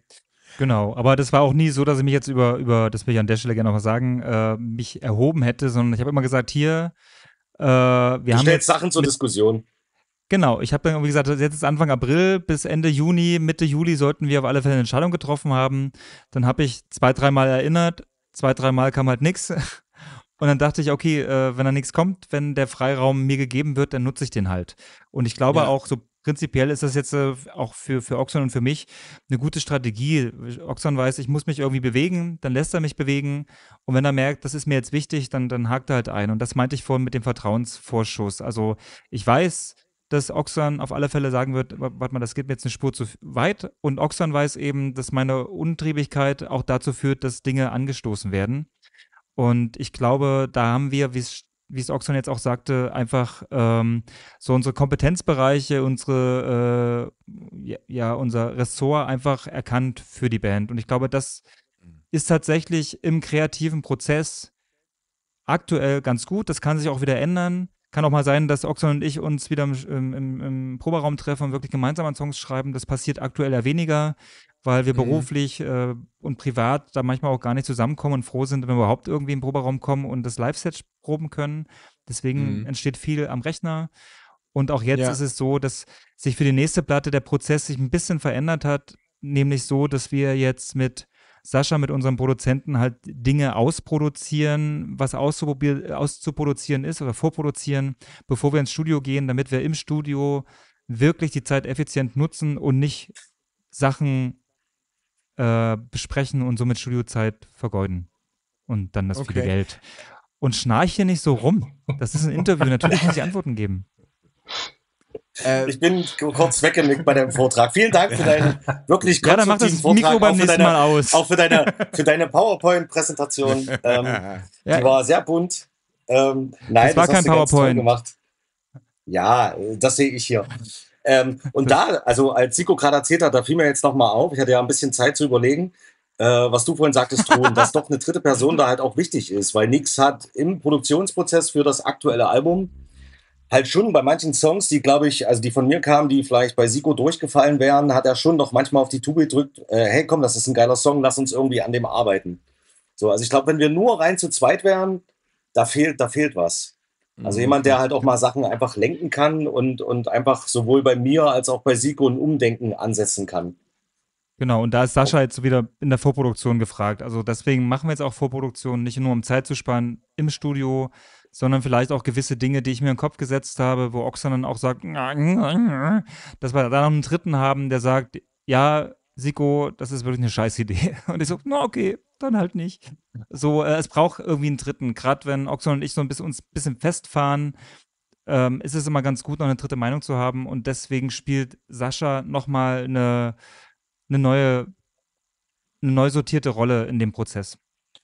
Aber lass uns mal Butter bei die Fische machen. Also ich finde es ganz spannend. Ihr habt 15 Songs, 37 Minuten, drei Features. Äh, das sind mal so ein bisschen die Zahlen, die ich mir da raus. Also Vier. da wieder da vier Features.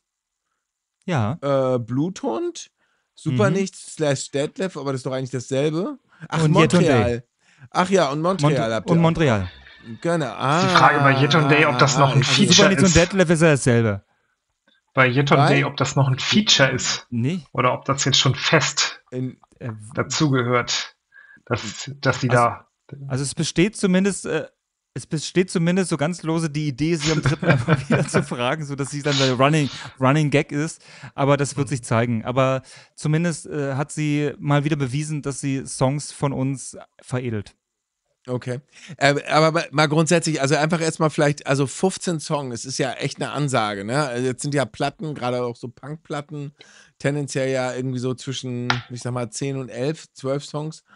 Ähm, Oxon, da würde mich interessieren, du hast gesagt, zwei, zwei Songs müssen die unbedingt aufs Album. Welche beiden waren denn das? Nein, nein, da kriegst du mich nicht rein. Das werde ich nicht sagen. Das werde ich vielleicht Siko mal im Vertrauen sagen, aber selbst das muss nicht unbedingt sein. Also ich konnte ja jetzt anderthalb, zwei Jahre meine Schnauze halten. Ähm, er wird mich aber hinterher tätowieren. Welche Songs waren das? Welche Songs waren das? Okay, Ähm, ähm, Nein, das werde ich hier nicht, das werde ich hier nicht kundtun. okay, dann frage ich mal andersrum. Was ist dein persönliches Highlight, Oxon, auf dieser Platte? Boah. Oh Die, Gott. Fra die Frage war so vor, die hättest du dir auch wirklich vorher Vor allen Dingen habe ich jetzt auch mit einer eindeutigen Du hast, Antwort 30, du, gerechnet. hast, du hast 30 Seiten Vorbereitung von mir erhalten im Vorfeld, die du durcharbeiten solltest. Und jetzt war, kannst du keine Antwort darauf geben. Die hat mein Hund gefressen, die Vorbereitung. ähm, Du hast die doch letzte gar keinen. Review, Ho- Die letzte Review äh, oder Rezession über ein Live-Konzert von uns im Bierschinken war jetzt auch nicht so toll. Also ich bin halt auch ein bisschen angepisst, ähm, diesen ganzen Bierschinken-Kosmos. Ähm, boah, Ja, welcher Song? Ich war das- weiß es war aber das ich, weiß nicht, ich, ich überlege gerade auch, welche Songs da überhaupt drauf sind auf dem Album. Na, unter anderem Ähm, ist da. Für mich ist das Album halt auch abgeschlossen. Also das ist jetzt halt durch. Wir haben das veröffentlicht. Die ganze Promophase ist durch. Äh, es wurden Platten verschickt. Für mich ist das Thema durch. Ich beschäftige mich damit gar nicht mehr so. aber ihr habt es ja noch gar nicht Ähm, richtig live gespielt, oder? Das neue Album? Doch. Zur Release-Party und eine Woche später auf einem Festival. Okay. Aber dieses Ah. Album an sich ist ja abgeschlossen. Die Songs sind jetzt halt im, im Kanon drin vom äh, Live-Set. Aber that's it. Okay. Aber, Für mich also, zumindest. okay, aber mich würde schon mal interessieren. Also, ähm, äh, weil als ich euch gesehen habe, ich habe euch ja sozusagen so ein bisschen inoffiziell im März war das, glaube ich, gesehen. Nee, im April. Im April war das, ne? In Berlin. Nee, März, Habt ihr- 23.3. Bei 23. Bönks 60. Geburtstag. Genau, bei Bönks 60. Geburtstag, ihr habt ja extra noch ein Ständchen eingeprobt. Da habt ihr ja kein, keine Sachen von der neuen Platte gespielt. Ähm, Doch. was? Ja. Also zum Beispiel Oversize Pullover und Wahre Gesellschaft 95 und Hangover Boy sind schon echt ewig lang im Set. Ernsthaft? Yep. Aber ich Ja. habe dich doch sogar noch gefragt, ob ihr neue Sachen spielt und du meintest, nee, da sind wir noch nicht. Die hatten Ja, wir doch tatsächlich schon, wo du letztes Jahr in Berlin da warst im Set oder auch wo Trun da war in Kiel, oder? Oha. Nee, Da okay. bin ich Ah, da bin ich mir auch unsicher. Aber wir haben zumindest ähm, die Rocknummern schon immer gespielt, weil wir ja mit der aktuell, also mit der ersten Platte ja gar keine, keine Stunde füllen konnten. So, wir haben ja eine Stunde gespielt, falls du dich erinnern kannst. und äh, wir haben nicht nur geredet und die Zeit damit gefüllt, sondern wir haben Ihr schon viel auch geredet. geguckt, dass wir dann diese Sachen voll kriegen. Dann haben wir noch ein, ein, ein Cover und das war's dann, also ein, ein Songcover und das war's dann auch. Und wir haben vier, vier Songs gespielt, ja, bisher. Also seitdem die Platte aufgenommen ist, haben wir die Na gut, vier aber ihr habt, immer gespielt. genau, aber ihr habt jetzt keine von den, von den Singles. Videoveröffentlichungen, ne? von den Das stimmt. Singles Das ist was sozusagen. anderes, ne? Also, ja. Mittlerweile Aber da machen wir das aber. Okay. Das hatte halt tatsächlich den Grund, wir hatten halt einen Live-Schlagzeuger für, für den Zeitpunkt und äh, wo du uns auch gesehen hast, Anfang Ja. dieses Jahres. Und ähm, ja, der war halt einfach nicht so weit mit den Songs, dass wir die hätten live abhören können. Okay. Und wer hat jetzt dann aber bei der Release-Party Schlagzeug gespielt? Da hat nix äh, Schlagzeug gespielt. Und auf dem Festival Genau, auch, jetzt- wie? Es waren turbulente Zeiten. Also äh, äh, Olex, das war der, der, der zeitweise mit dabei war, um zu gucken, ob es funktioniert. Der hat vier Konzerte gespielt. Dann haben wir festgestellt, so äh, wirklich zu dritt, das funktioniert so nicht. Ähm, haben uns gegenseitig bedankt und gefreut, dass wir es wenigstens versucht haben. Und dann war die Frage, okay, nix, kannst du die beiden Konzerte jetzt noch spielen, ja oder nein? Äh, er hat dann ja gesagt und dann haben wir die gespielt. Und danach war ähm, ja, da war ein bisschen Pause und wir wollten eigentlich noch ein Gespräch führen. Und das hat dann letzten Endes dann dazu geführt, dass wir dann äh, gesagt haben, gut, wir, äh, Mhm. wir müssen komplett auf neue Suche gehen. Aber ja, in Berlin hat Olex gespielt. Also unser Ja, das weiß ich, genau. Das weiß ich noch, genau. Nee, ich habe mich nur inter interessiert und äh, das heißt aber jetzt in, den, in diesen beiden Konzerten, die ihr sozusagen danach gespielt habt, habt ihr die neuen Sachen auch gespielt. Und Ja. da, Ja. und jetzt komme ich mal zu meiner Frage, nämlich, wie funktionieren die denn live für euch? Wenn man, ich finde ja sowas, die sind ja teilweise, also gerade du hast das schon äh, das erwähnt hier, jetzt muss ich, ich bin mit den, äh, ach Mann, wir, ach Mann, wer, Wer hat damit damit angefangen? angefangen? Ja, also das ist ja schon, du hast es selber gesagt, es ist ja vom Groove echt anders. Es ist, also ich finde das Video, ich feiere das Video so mega ab.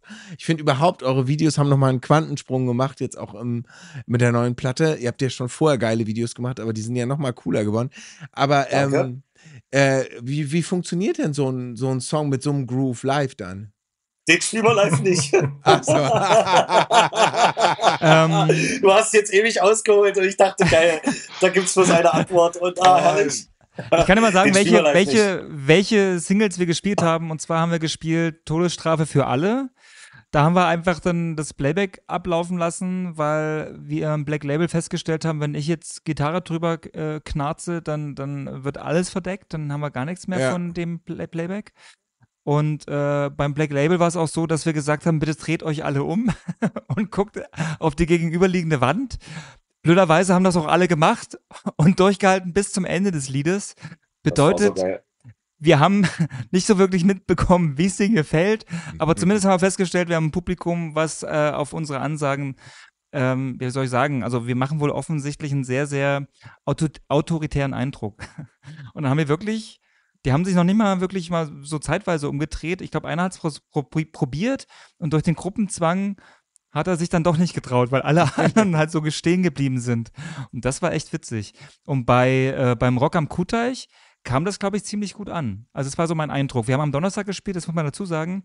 Da Mhm. gab es noch nicht so, da war noch nicht ein komplettes Publikum da, sondern die, die sich es leisten konnten, am Donnerstag schon da zu sein. Und ich Mhm. glaube, dafür, dass wir 19 Uhr begonnen haben, war die Stimmung laut Aussage des Festivals überraschend doll und gut. Mhm. Also ich habe mal auf dem Samstag auf dem Rock am Kuhteich gespielt und äh, da konnten, glaube ich, die ganzen Iro-Punks mit, mit uns überhaupt nichts anfangen, so nachmittags um vier. Da waren die einfach vielleicht auch noch nicht betrunken genug, aber sehr schön Ja, zu wie gesagt, hören, wir haben, wir haben euch 19 Uhr gespielt, da war auch noch keiner so wirklich betrunken. Aber immerhin waren sie schon in Sauflaune dann vielleicht und nicht verkatert. Genau. Oh, das Äh, war, das war, da, da, da, da rufst du gerade was bei mir hervor bei dem Konzert. Da gab es ja irgendwie so zwei, drei Leute im Publikum. äh, weiblich gelesen, die mir irgendwie versucht haben, die Klamotten zu klauen und mich die ganze Zeit beim Konzert genervt haben und irgendwie nichts versucht haben, die Maske zu klauen während des Live-Auftritts. Die haben mir nach dem Konzert eine Kette vom Hals geruppt. Boah, da muss ich gerade dran denken, das ist von dem Konzert hängen geblieben. Ist ja furchtbar. Und nicht mal, wie haben die neuen Songs funktioniert. Ähm, die haben anscheinend so gut funktioniert, ähm, dass man mir Zeug klauen wollte von der Bühne. Okay. Ja, aber ähm, nur dir. mich haben sie in Ruhe gelassen. Und nix. Ach ja, also mich ja, du, du hast das gerade schon erwähnt, du hast das ja gerade erwähnt, du, du wirkst so autoritär auf die Leute. Das kommt auch irgendwie an in diesen Zeiten, ist on vogue. Ähm, an dich ja, traut sich keiner ran. Nicht mal, nicht mal ich, ja. nicht mal ich. Ja, ich wollte gerade sagen, deswegen hast du auch nicht gesagt, die Lieder kommen nicht drauf, sondern ah, die könnten, die könnten Siko wichtig sein und bevor man in die Fresse haut, kommen die aufs Album. Also meine Theorie wäre jetzt ja gewesen, dass einfach sie die Stimme hören und sofort denken, oh Gott, Farin Urlaub steht da auf der Bühne, da, da trauen wir, dann schnappen wir uns lieber Rott. Oder Bela. Das ist aber auch eine Art von Machtmissbrauch, ne? Ja, stimmt. Aber das Witzige ist, Oxon hat irgendwann bei Facebook mal so eine Gruppe ausfindig gemacht, die sich mit den Ärzten beschäftigen. Und dann waren auch zeitweise äh, Soko Links im Gespräch.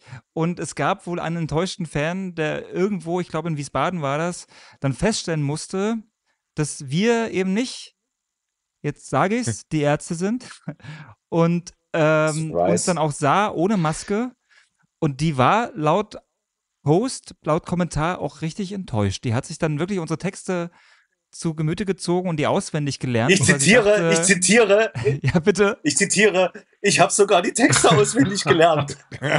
so richtig, also ich meine, man liest ja so Facebook-Kommentare und da hat man die Enttäuschung richtig gelesen, auch ohne irgendwie ja, Smiley. Ja. Und das war schon, das war schon echt toll. Und dann traf ich sie am Merchstand und sie sprachen auch noch mit sächsischen Akzent. ja, geil. Na, wo kommst denn du her? Wo kommst denn du her? Ach, schön. Das ist aber schön. Alle, wir sind die von der, wir sind von Zico Links. Ähm, äh, ich, ich fand, also das habt ihr ja auch schon im Januar 2023 im Schokoladen äh, viel, sag ich mal, Show gehört ja dazu, zu einem Soko Links Konzert. Ähm, jetzt äh, bei, bei Bönks Geburtstag, äh, beim 65. Mal von Bönks, habt ihr das ja nochmal ein bisschen ausgebaut. Ähm, wie wichtig ist euch, also, äh, oder oder andersrum, stellt ihr euch bei manchen Songs schon in der Mache vor, okay, und dann machen wir das und dann machen wir das? Und äh, oder ist das wirklich so, also wie, wie kommt ihr so auf die Ideen? Wie, wie, passt, wie fängt das so zusammen?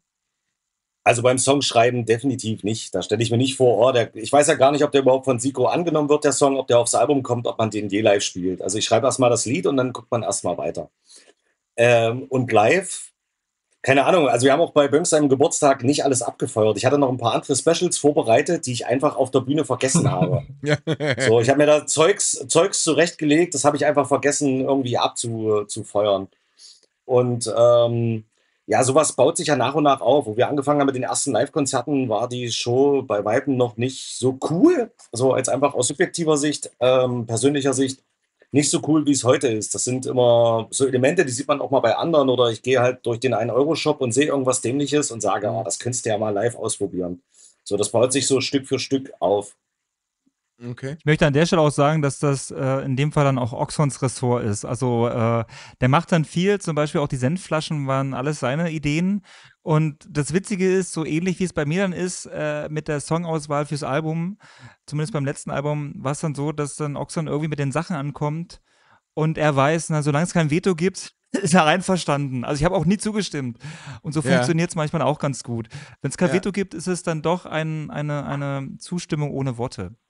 Ja, wir hatten es in der, in, der, in der technischen Störungspause ganz kurz. Oxon, du hast ja noch eine andere Band, äh, bei der du gelegentlich mitspielst. Das ist ja. ja. ein ganz anderes Programm. Ist das so ein bisschen, also was ich spannend finde, weil ähm, äh, es ist ja relativ untypisch für eine, eine, eine, linke Punkband, äh, die ihr ja irgendwie doch auch seid, äh, äh, so eine, so eine Entertainment-Show mit reinzumachen. Ne? So, da ähm, gab es irgendwann mal den Zeitpunkt in deiner musikalischen Vergangenheit, wo du dachtest, ich will aber mal mit äh, wie so ein Cheerleader über die Bühne dancen, wie so eine Cheerleaderin. Äh, oder gab es das irgendwann mal die Zeit, ich will einfach diesen ganzen Scheiß wieder ernst nicht, äh, nicht so haben? Oder Ey, Valentin, das, das, das stellst du eine Frage, deren Antwort ich gar nicht kenne. Jetzt bin ich selber gespannt. also in der anderen, oh, das ist, das wird eine lange Antwort. Ähm, Siko, du kannst dich schlafen legen. Ähm, in der anderen äh, Band, in der ich Jetzt spiele kommt mittlerweile die PowerPoint-Präsentation. mittlerweile sind das ja nur noch so zwei, drei Auftritte im Jahr. Und diese Band hat tatsächlich ähm, doch sehr viel äh, Elemente in ihrem Set drin, äh, wo ganz viel Quatsch tatsächlich gemacht wird. Und ich fand das früher immer nervig äh, mhm. und ich fand das eigentlich scheiße. Ich habe mich da irgendwie als Musiker gesehen und dachte, jetzt hört doch mal auf mit eurem Theaterquatsch hier. Mhm. Und ähm, letztens haben wir dann live gespielt, eines der ganz wenigen Konzerte. Und da war ein befreundeter Musiker dabei. Grüße an äh, Basti von Piefke und den anderen Bands, wo der spielt. Ähm, und er sagte, hey, das war doch eigentlich die erste Band, die das überhaupt so gemacht hat im deutschen Punk-Bereich. Ich glaube zwar nicht, dass das so ist, aber es gibt zwischen diesen beiden Bands, zumindest von den Live-Elementen, von diesem ganzen humoristischen Theaterquatsch, äh, gibt es doch etliche Parallelen. Und dieses mit, äh, was du gerade als Beispiel erwähnt hast, mit Pompons über die Bühne wandern, ist auch aus der Not herausgeboren, weil bei Soko Links das erste Mal der Moment war, dass man, dass es Songs gab, wo äh, man kein Instrument in der Hand hat und ich mhm. mich halt irgendwie nackt fühlte und diese, diese Nacktheit irgendwie füllen wollte. Also ich weiß, eines unserer allerersten Konzerte, da bin ich dann halt einfach von der Bühne runtergestiegen und ins Publikum rein. Ja. Weil ich mir einfach nackt fühlte und mir langweilig war. Und ich bin rumgegangen ja. mit der Senfflasche und habe mit Leuten angestoßen. Einfach um diese, ja, diese eigene gefühlte Peinlichkeit zu überspielen. Ja, ja. Voll also völlig, völliges Verständnis. Also äh, ich finde auch, ähm, es macht euch wahnsinnig sympathisch. Also ich finde, ähm, sowohl die Ästhetik eurer Videos als auch dieser, dieses etwas überkandidelte Live, äh, äh, Live-Performance, finde ich, macht es wahnsinnig sympathisch. Es macht es sehr angenehm, euch anzugucken. Ähm, Vielen Dank. Auch wenn ich Danke, jetzt nicht, ja. Äh, ne, also es ist tatsächlich so, also ich, äh, ich finde. Aber ist das so viel? Also jetzt mal ernsthaft, ist ja, das, also ich habe schon also, den Eindruck, dass wir großteils immer noch Musik machen live. Klar, wir quatschen zwischendurch mal ein bisschen blöde. Ähm, aber wir, wir, ich weiß nicht, wir also, führen da jetzt ja keine, das, kein Broadway-Stück auf, kein Musical, sondern stimmt. es ist immer noch Live-Musik mit, ja, wir hampeln halt vielleicht ein, zwei Mal rum. Ja, aber Oxon in dem, in dem, also ich, ich, gehe ja 90 Prozent meiner Konzerte gehe ich auf so DIY-Shows hier in Berlin. Ne? Das heißt, ich gehe zu irgendwelchen. da gehe ich halt irgendwie so zu, zu irgendeiner Grunzband, die äh, im Trickstar rumbrüllt und äh, äh, die, die, würden niemals auf die Idee kommen, nur irgendwie äh, irgendwas an Performance zu machen, außer sie brüllen halt ins Mikro und äh, versuchen ihre Rockgitarren rumzuschwingen. Also so ein bisschen, ich finde, ich finde, dass. Aber das es freut mich tatsächlich sehr, Valentin, dass du zu dieser Einschätzung kommst. Wir hatten jetzt neulich auch, als wir in Zittau spielten, ähm, dann einen Verriss vom Bierschinken. Ja, ja, ja ich weiß, ich hab's gelesen. Und ja. wir haben es dann aber dann auch einfach feuchtfröhlich dann einfach weiter verschickt, weil wir es auch sehr witzig fanden, das zu lesen. Aber so prinzipiell wissen wir auch, dass es Menschen gibt, die mit der Art Musik und mit der Art Performance, die wir da an den Tag legen, überhaupt aber, nichts anfangen Aber klar, können. aber, aber und, natürlich. Ähm, anstatt, anstatt zu akzeptieren, dass es eben auch andere Möglichkeiten gibt, Musik zu, zu machen und die auch darzustellen und zu performen, gibt es dann einfach dann auch Leute, die das dann auch hassen wollen. Und damit können wir mittlerweile ganz gut umgehen. Und wir finden immer, wenn es gut geschrieben ist, dann wird es auch gut, dann wird es auch geteilt, weil der hat, Mensch hat aber, sich auch Mühe gegeben, diesen Text zu verfassen. Und so genau, soll das auch von uns honoriert werden.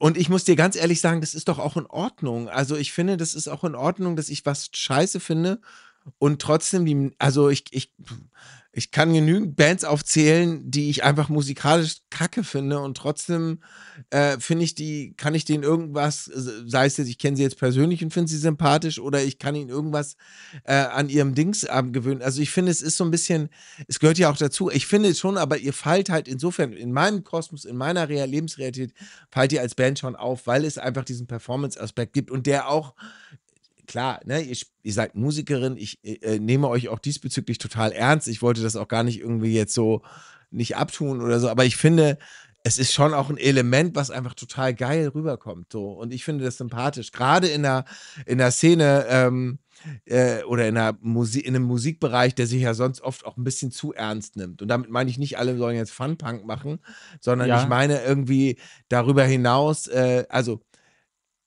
es hat ja auch was Selbstironisches, sage ich es mal so. Ne? Also es hat ja auch was, und das äh, finde ich, kann, kann gerade diesem ganzen Bollo-Hardcore-Bereich. Aber ich es schwer, das jetzt damit zu vergleichen. Also mit so, mit so einem Bollo-Hardcore-Kram. Deswegen musste ich auch so lachen. Natürlich sind, sind solche Shows einfach ähm, komplett spaßbefreit, nennen wir es jetzt mal bösartig so. Und ähm, wenn man jetzt, jetzt vielleicht in eher so eine Richtung denkt, es gibt bestimmt gleich Schläge, aber wenn man sich jetzt mal sowas wie ZSK auf einer Bühne vorstellt, das, äh, das tut mir leid, dass ich die jetzt mit in den Ring werfe, die natürlich auch viel Interaktion äh, und Krams machen. Oder ähm, wenn man sich jetzt einen HP äh, Baxter anguckt, ähm, HC Baxter, ne? Warum habe ich HP gesagt? Meine Güte, das ja, ist ja, ja jetzt äh, doppelt unangenehm, aber auf jeden Fall, das, also das gibt ja schon, schon genug Bands, die auch irgendwie ein bisschen drüber sind, was ihre Performance angeht und die ein bisschen mehr machen, als nur auf der Bühne stehen, äh, Nebelmaschine anwerfen und drei Lichter leuchten.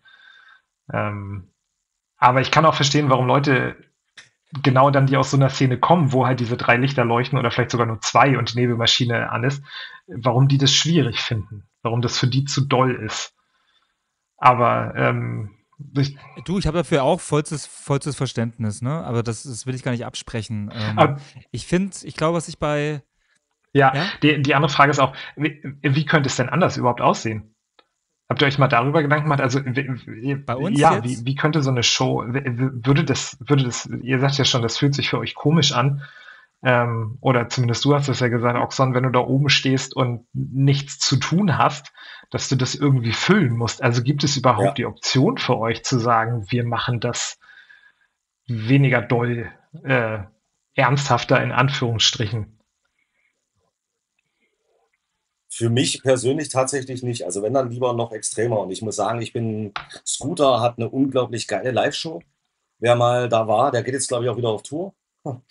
Werbung. Ähm, also ich bin sehe mich mehr bei Scooter. Ich sehe mich mehr bei Scooter von der Live-Show, nur von der Live-Show. Wir sind ja in der Unterhaltungsbranche auch irgendwo tätig, ne? Und da sehe ich mich mehr bei Scooter als ähm, bei irgendeiner ernsten Hardcore-Band. Und wir nehmen zwar die Musik ernst, die wir machen, aber haben ja trotzdem sehr viel Selbstironie mit drin. Äh, und ich denke, gekoppelt mit der Selbstironie ist das, was sich da Oxon ausdenkt und was ich dann stillschweigend abnicke, dann auf alle Fälle etwas, was auch gut reinpasst. Und ich habe da auch Spaß dran. Und ich freue mich auch immer, wenn, wenn Oxon mich dann überrascht mit irgendwelchen neuen Ideen. Ah, guck mal, anstatt Senfflaschen sind es jetzt Ketchupflaschen. Lol. So, also ich habe da auch schon mal einen Spaß mittlerweile. Ähm, und wenn ich es nicht verstehe, dann lasse ich den Witz entweder so lange in mir arbeiten, bis ich ihn verstehe. Und wenn ich ihn nicht verstehe, muss ich fragen. Und dann, ah, deswegen. Ah, jetzt verstehe ich es immer noch nicht, aber ich habe zumindest eine Erklärung. Wann, wann ähm, kippt das ja, Ganze finde, von, finde, von Witz Ox, zu Ernsthaftigkeit? Ich finde, Oxfam macht das. Entschuldigung, dass ich jetzt unterbreche, aber wann? Naja, wenn wir Themen beackern, die. Na, ich habe es, glaube ich, schon mal, weiß nicht, wann, wo ich es erzählt habe. Ähm, die Ironie, ich kann jetzt nur für mich reden und der, auch der Spaß in den Texten und auch der Sarkasmus, der ist manchmal einfach auch nur ein Werkzeug, sich Themen zu widmen und zu nähern, die mir Bauchschmerzen bereiten, die mir einen Weltschmerz zufügen. Äh, und damit ich irgendwie wieder handlungsfähig werde, versuche ich über den Humor und über den Sarkasmus wieder eine gewisse, Diskre also eine gewisse Distanz zu erzeugen, damit der Schmerz erstmal äh, weg ist, damit ich überhaupt erstmal wieder drüber nachdenken kann und dann vielleicht die Möglichkeit auch dann habe, darüber zu schreiben. Und ich finde, ähm, uns ist es ja schon noch irgendwie wichtig, Themen zu besprechen, die uns beschäftigen, die uns wichtig sind. Und wir machen Unterhaltungsmusik, wie Oxon sagte. Und ich denke, das ist eine gute Mischung, schwierige, komplexe, sperrige Themen irgendwie auch in die Köpfe reinzukriegen. Und das geht jetzt nicht darum, dass wir jetzt wollen, dass alle politisiert sind, aber dass da so eine gewisse naja, dass, dass, dass einfach auch klar ist, dass es andere Themen gibt, die man besingen kann, die tatsächlich eine gewisse Relevanz auch haben und transportieren. Und vielleicht schafft man es auch, äh, nicht politisierte, politisierte Menschen dann zumindest anzustoßen, sich dann doch über gewisse Dinge nachzudenken und sich zu beschäftigen. Wir haben ja auch tatsächlich sehr ernste Lieder und auch ein sehr trauriges Lied, was wir live ja auch performen. Und da kommt natürlich nicht der Kasper zum Vorschein. Aber ich denke, dass auf einer Live-Show beides möglich ist, sowohl diese, diese ironischen Elemente oder die Spaßelemente als auch ähm, Politik und Ernsthaftigkeit. Ich denke, das kann man trotzdem alles in eine Dreiviertelstunde Show verpacken. Das widerspricht sich für mich gar nicht. Ja, das nee, ist ja ein Musikstil, den wir da machen, ja auch klar. Ich meine, wir haben ja keinen wirklichen Musikstil, sondern ähnlich wie es mit der Ernsthaftigkeit, mit dem Spaß und mit der Themenvielfalt ist, ist ja unsere Musik ja auch sehr vielfältig aufgestellt. Also, Musikstil wollte ich gerade sagen, Siko, äh, ihr werdet schon durchaus öfters mal jetzt als Elektropunk bezeichnet, ne? Also den, den, den, den, den Stempel habt ihr jetzt. Ähm, ich wollte aber noch mal was sagen. Natürlich hast du recht, äh, Truhen. Äh, ich, ich erwarte oder ich gehe ja mit einer anderen Erwartung auch zu einer Bolo-Hardcore-Show oder ich gucke mir irgendwie, keine Ahnung, irgendeine Post-Punk, Emo-Punk-Band an. Aber was mich merke, und das ist, glaube ich, eher auch, weil ich glaube, da tendenziell eher so ein bisschen wie, wie ähm, zumindest wie Siko auch ticke, dass ich ja sehr, einen sehr breiten Musikgeschmack habe, der sich ja von Hip-Hop über, äh, keine Ahnung, wirklich klassische Popmusik auch oder aktuelle Popmusik auch einfach zieht, bis hin halt zu Punk und Hardcore-Gezeug. Und ich finde es so langweilig oft, glaube ich, ähm, dass ich so das Gefühl habe, ganz viele Leute hören halt einfach nur das eine und erwarten auch nur das eine. Also die gehen einfach, die wollen gar nichts anderes, außer sich halt äh, gerade in diesem Hardcore-Bereich oder auch in diesem, Gott, wie nennt man das so, metligen Hardcore oder so. Die wollen halt einfach nur ihre, ich verstehe die Texte nicht, weil nur geschrien wird, zwei Minuten oder nicht mal zwei Minuten Baller-Songs so. Und das, also, das kann ich mir mit einer Band mal angucken, aber dann langweilt es mich halt, weil da passiert ja auch nicht viel. So, also, ähm, ja, genau. Vielleicht kurze Exkursion, kurze PowerPoint von mir an der Stelle dazu. Was war die Frage? Nein. Gab keine Frage, ich wollte einfach auch mal was sagen. Achso, äh, also, genau, Frage.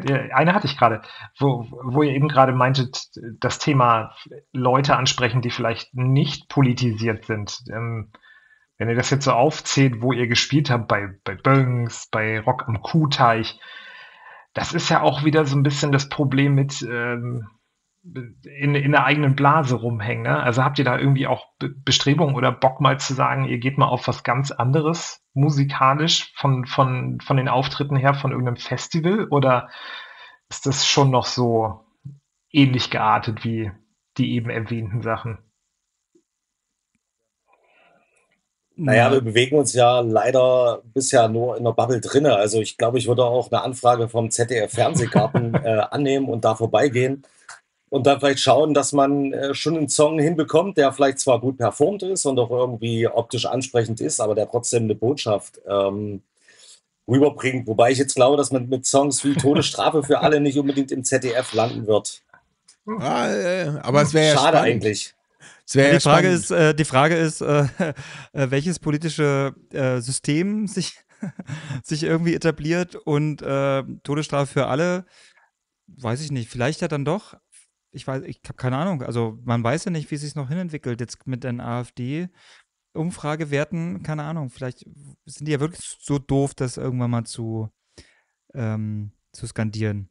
Aber ja, ich glaube, was, was Oxan meinte, ist, ich, wenn, wenn Oxan da Bock drauf hat, dann sage ich ja meinetwegen, weil ich habe dann andere Bereiche, wo ich mich durchsetzen kann, dann soll, soll er sich halt da durchsetzen.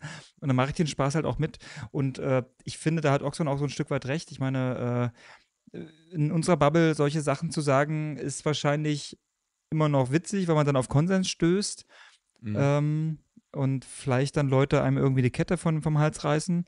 Mhm. Aber ähm, das vielleicht irgendwo zu, zu benennen und zu singen, wo Leute erstmal ja gar keine Berührungspunkte hatte mit den Inhalten, die wir da, die wir da uns aussuchen, ist das, glaube ich, schon sinnvoller. Deswegen würden wir das auch machen. Ja, auf jeden Fall. Da bin ich, ich habe kurz überlegt, dann doch auf Oxons Seite, ja. Aber es ist ja auch ein bisschen so bei zum Beispiel 100 Kilohertz, mit denen ihr ja auch schon öfters gespielt habt. Äh, die, die, die sind ja mittlerweile, reiten ja auch eine andere Welle als nur die AJZs. Also ich glaube, die sind ja eigentlich schon zu groß geworden für irgendwelche Jutsus und so. Ähm, und da kann man, finde ich, auch, also die Musik ist nun überhaupt nicht meins und äh, also das ist ja nun wirklich. Das war jetzt mal richtig wichtig, dass du es sagst, ne? ja, ich musste das einfach nochmal sagen, Entschuldigung. nicht Hast du schon Musik. erwähnt, dass du keine Das ist Bläser nicht meine magst? Musik. Ich glaube. Ich hasse Bläser, ich hasse Bläser, ich hasse Ska-Musik. Ja, Die machen danke. zwar keine Ska-Musik, aber ich hasse Ska-Musik.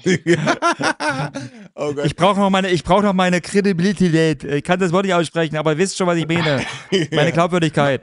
Meine Die brauche ich jetzt. Ich, Anti-Scar-Credibility. ich hasse Bläser und die Hosen sind für mich Schlager. Das musste ich unbedingt Wir erwähnen. haben das Valentin-Bingo. oh ja, ich bin auch zu erwartbar geworden. Ja, aber, aber zurück zur Frage, Valentin. Ja, Nein, also du kannst keine- mit 100 Kilohertz nichts anfangen, aber was wolltest Nein, du also- sagen? ich finde das Argument zu sagen, okay, äh, also ich, ich habe das so ein bisschen am Rande, die haben das, glaube ich, in einem Podcast oder so irgendwo auch mal erwähnt, dass sie natürlich auch schon schräg angeguckt werden, wenn sie jetzt halt so Riesenshows spielen. Ähm, oder dann so dumme Kommentare kommen wie, naja, jetzt seid ihr ja auch nicht mehr Punk.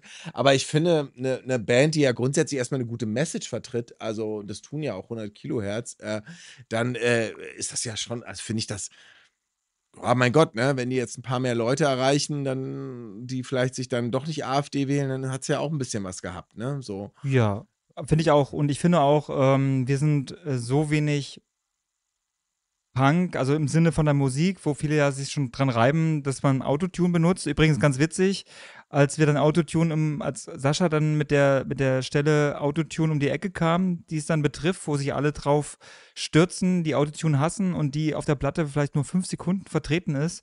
Ja. Ähm, als es dann drin war, hat Oxon erstmal abgelehnt, glaube ich, meinte, nee, nee. Und bei mir war so, geil. Das wird uns definitiv auf die Füße fallen. Das machen wir auf jeden Fall. Da wird so viele Menschen geben, die sich darüber ärgern werden. Ähm, das machen wir jetzt mit Anlauf. Und das hat und genau es echt viele, die haben sich richtig, richtig drüber geärgert. Und genau, Siko, ich hab's abgefeiert. Ich hab es abgefeiert. Ich hab's gehört und dachte, geil.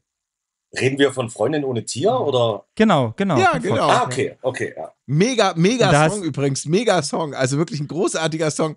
Ich habe dieses Videokonzept, wo ihr meinte, hey, schickt mal Bilder mit eurem Tier. Ich habe hab kein Haustier. Ich habe gedacht, hey, ich habe nichts, schick euch nichts. Aber äh, ich, ich habe nur, hab nur Kinder. Ich habe genau, ich habe Kinder, aber da kriegt die, kriegt ihr nicht zu sehen. Also, ähm, äh, aber ich fand die, als ich das dann gesehen habe und vor allem diesen Song und dann dieses Autotune drin, ich fand es genial. Ich fand es wirklich genial. Ja, wir haben uns richtig gefreut. So, wir haben, wir haben gewusst, dass es Leute gibt. Äh, ich meine, äh, äh, beim KIZ war es ja ähnlich, äh, wo dann Tarek sein Soloalbum hatte und so viele Fans sich darüber aufgeregt haben, dass er Autotune hatte und benutzt hatte auf dem Album, wo ich dachte, ja, das wird uns auch passieren. Geil, das machen wir jetzt. und die Leute, die haben, die sind über das Stöckchen gesprungen, das wir da hingehalten haben. Das fand ich ganz toll. Mir ist das ja prinzipiell alles scheißegal. Also ja, deswegen bin ich ja in der Band. um, ja. um, äh, um ich kann mich gar nicht erinnern, dass das Thema, dass das ein Thema war. Ähm, aber schön, schon, dass Leute über Stöckchen springen, äh, vor allem bei dem Song, äh, die ich jetzt persönlich gar nicht hingehalten habe. Aber das ist doch super. Ja. Aber, aber es ist übrigens der Song, den, den äh, Oxon vorhin ansprach, den ich eigentlich schon beiseite gelegt hatte, wo Nix tatsächlich sagte, komm, lass mal drüber gucken. Und äh, dann habe ich gesagt, ja, okay, wenn, dann lass uns das musikalisch nochmal ein bisschen, bisschen auf, aufbereiten, weil das Original, das ist übrigens auch zu hören, zumindest, äh, zumindest so, so, so ein Ausschnitt davon äh, beim, beim, ähm, beim Abspann des Videos. Da ist das Demo zu hören, was ursprünglich da war. Und es hat mir schon irgendwie gefallen, aber die Musik war halt so, so das, das, da gab es nicht wie viel Varietät so in, mein, in meiner Wahrnehmung. Und dann hat der Oxon uns die Freigabe gegeben, da nochmal dran rumzuarbeiten. Und dann habe ich mich mit Nix in den Proberaum gesetzt und dann haben wir den Song nochmal musikalisch zumindest komplett umgearbeitet. Der Text ist eins zu eins so geblieben. Und ja, und als er dann so fertig war, da konnten dann alle, einschließlich mir, sehr, sehr, sehr gut damit umgehen. Ja. Mm. Also ich finde den Habe ich euch da eine Freigabe erteilt? Ich kann mich an ja. gar keine Frage erinnern. Ich glaube, ihr habt das einfach gemacht, wie immer. Ich finde es immer, immer so witzig, dass du dich daran nicht erinnern kannst. So oft. So, ich weiß ganz genau, dass es das war und du so, ja, keine Ahnung, ist mir egal, macht halt. Es ist nee, mir halt ich, einfach scheißegal. Ja, aber ich frage dich ja trotzdem, was ja dein Zeug ist. So, also ähm, ja, ich hab, wir haben dich definitiv gefragt und du so, ich glaube, dein, dein, dein Gedanke war, na Hauptsache, der kommt aufs Album. egal wie, Hauptsache, der kommt irgendwie drauf. Ja, und das, ich finde, der Song hat echt gewonnen und, und ist zur Single geworden. Und die Menschen die den Humor verstehen, den ich anfänglich auch nicht so wirklich verstand, äh, die feiern den Song und es gibt Leute, die finden den Text total albern und dann ist auch gut. Also wir sind ja jetzt erstmal angetreten, Musik zu machen, die uns selbst gefällt. Das ist nach wie vor so und äh, wenn es darüber, darüber hinaus noch Menschen gibt, die es abfeiern, dann sind wir auch sehr, sehr zufrieden und freuen uns natürlich über jede positive Rückmeldung. Und okay. auch über Visions, Visions Rezensionen, die uns richtig vernichten. okay, jetzt stopp. Kurze zwei Sachen. Also erstens eine Anmerkung, Trun, die geht eher in deine Richtung. Äh, wenn ich jetzt auch so schwe viel schweigen würde wie du, dann wäre das hier, glaube ich, die exklusive Therapie Therapiestunde zwischen Oxon und Siko. Also wir wären nee, einfach so, wir müssen gar nichts machen, die reden einfach nur miteinander, weil sie es wahrscheinlich ja. sonst nicht. Genau, also sie, die würden einfach sich die ganze Zeit unterhalten zu zweit und würden so, und wie war so dein Abend gestern? Und ich fand das übrigens mit der Freigabe, das hat nicht funktioniert. ist egal. Egal. Wurscht, ja, Trun, äh, weißt du, wie Trun das jetzt lebt? Trun hört Podcast, aber interaktiv. Stimmt, stimmt. Ah, also das, er Bock hat, ist ein gutes ja, sagt halt was. Ja, ja, ja. ja, ja. Teilnehmende Beobachtung. Teil, ähm, ja. Aber mir ist, ah. ich habe mich was gefragt, äh, Siko, ich habe tatsächlich noch eine Frage und zwar, äh, ihr habt ja jetzt schon angefangen, äh, vom, vom, vom nächsten Album zu sprechen und ja. Ist es, also wäre es theoretisch auch, oder ist es überhaupt denkbar, dass ihr nochmal ein Album aufnehmt, wo ihr sagt, okay, nee, jetzt wird es einfach ein klassisches, keine Ahnung, 30 Minuten Punk-Album. So ein bisschen wie äh, eine Mischung aus Ärzten und Green Day aus den 90ern. Jetzt äh, nur beispielhaft gesprochen. Also einfach glaub, was. Dafür müssen, wir noch, dafür müssen wir noch ein bisschen älter werden, aber das ist realistisch. Das kann passieren, ja. Also, das heißt, ihr sagt aber auch, also, oder ihr sagt auch, ähm, Soko Links ist bewusst auch etwas Offenes. Also, das ist nichts, was jetzt sozusagen einen Weg eingeschlagen hat und den darf es nicht mehr verlassen als, als, als Gesamtwerk sozusagen, als Kunstwerk. Also jetzt kann ich nur für mich reden, da haben Oxon und ich noch gar nicht drüber geredet, weil bisher ist der kreative Prozess halt, der läuft halt, ohne dass man vorher eine Richtung ausmacht, der mhm. läuft und dann gucken wir mal, was, was rauskommt. Und jetzt, wie gesagt, hat der Sascha auf alle Fälle noch viel, ein Handzeichen von Oxon, äh, hat der Sascha jetzt auch noch ein bisschen mehr, mehr Spielraum, noch, noch ähm, noch Einfluss zu nehmen, der auch gewünscht ist, wie gesagt. Aber so prinzipiell, wenn du die Frage so stellst, wenn, wenn Oxon und ich mal zusammenkommen und sagen, okay, bevor wir jetzt losschreiben, äh, was wollen wir eigentlich machen? Also wo äh, ist noch Interesse da? Wohin wollen wir uns entwickeln? Und da will ich nicht abstreiten und auch gar nicht ablehnen, dass wir vielleicht irgendwann wieder sagen, jetzt gehen wir zurück zu unseren Wurzeln und sagen, wir machen nur noch Rock für ein Album oder halt nur Elektro oder machen halt äh, Scooter 3.0 anstatt Ärzte 4.0. Mhm. So, Handzeichen ist gesehen, Oxan, du darfst jetzt reden. Es ist tatsächlich also schön, Siko, dass wir, wir mal wieder zusammenkommen ähm, und darüber reden. Das haben wir nämlich noch gar nicht. Also das dritte Album ist in Planung, wir haben aber noch gar nicht wirklich drüber gesprochen. Und ich habe persönlich schon so ein bisschen die Befürchtung, ah scheiße, machen wir jetzt mit dem dritten Album einfach nur eine Kopie von dem zweiten und ersten Album. Also das zweite Album ist so eine Weiterentwicklung, denke ich, vom ersten. Aber ich will eigentlich nicht, dass das dritte Album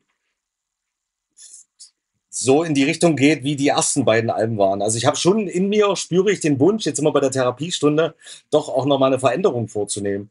Und manchmal kommt schon der Gedanke auf, ja, vielleicht könnte man einfach mal ein Album aufnehmen, was völlig weg ist äh, von, von Soko Links, also diese Erwartungshaltung, die vielleicht da ist bei den 30 Käufern der Platte, äh, die mal komplett zu torpedieren. Also ich hätte auch mal Bock auf ein, weiß nicht, ja, jetzt kein Schlageralbum, aber mal was anderes auf jeden Fall. Würde ich mich durchaus im Leben noch ausprobieren wollen. Das wird jetzt sicherlich nicht mit der dritten Platte passieren, aber wer weiß, was danach kommt.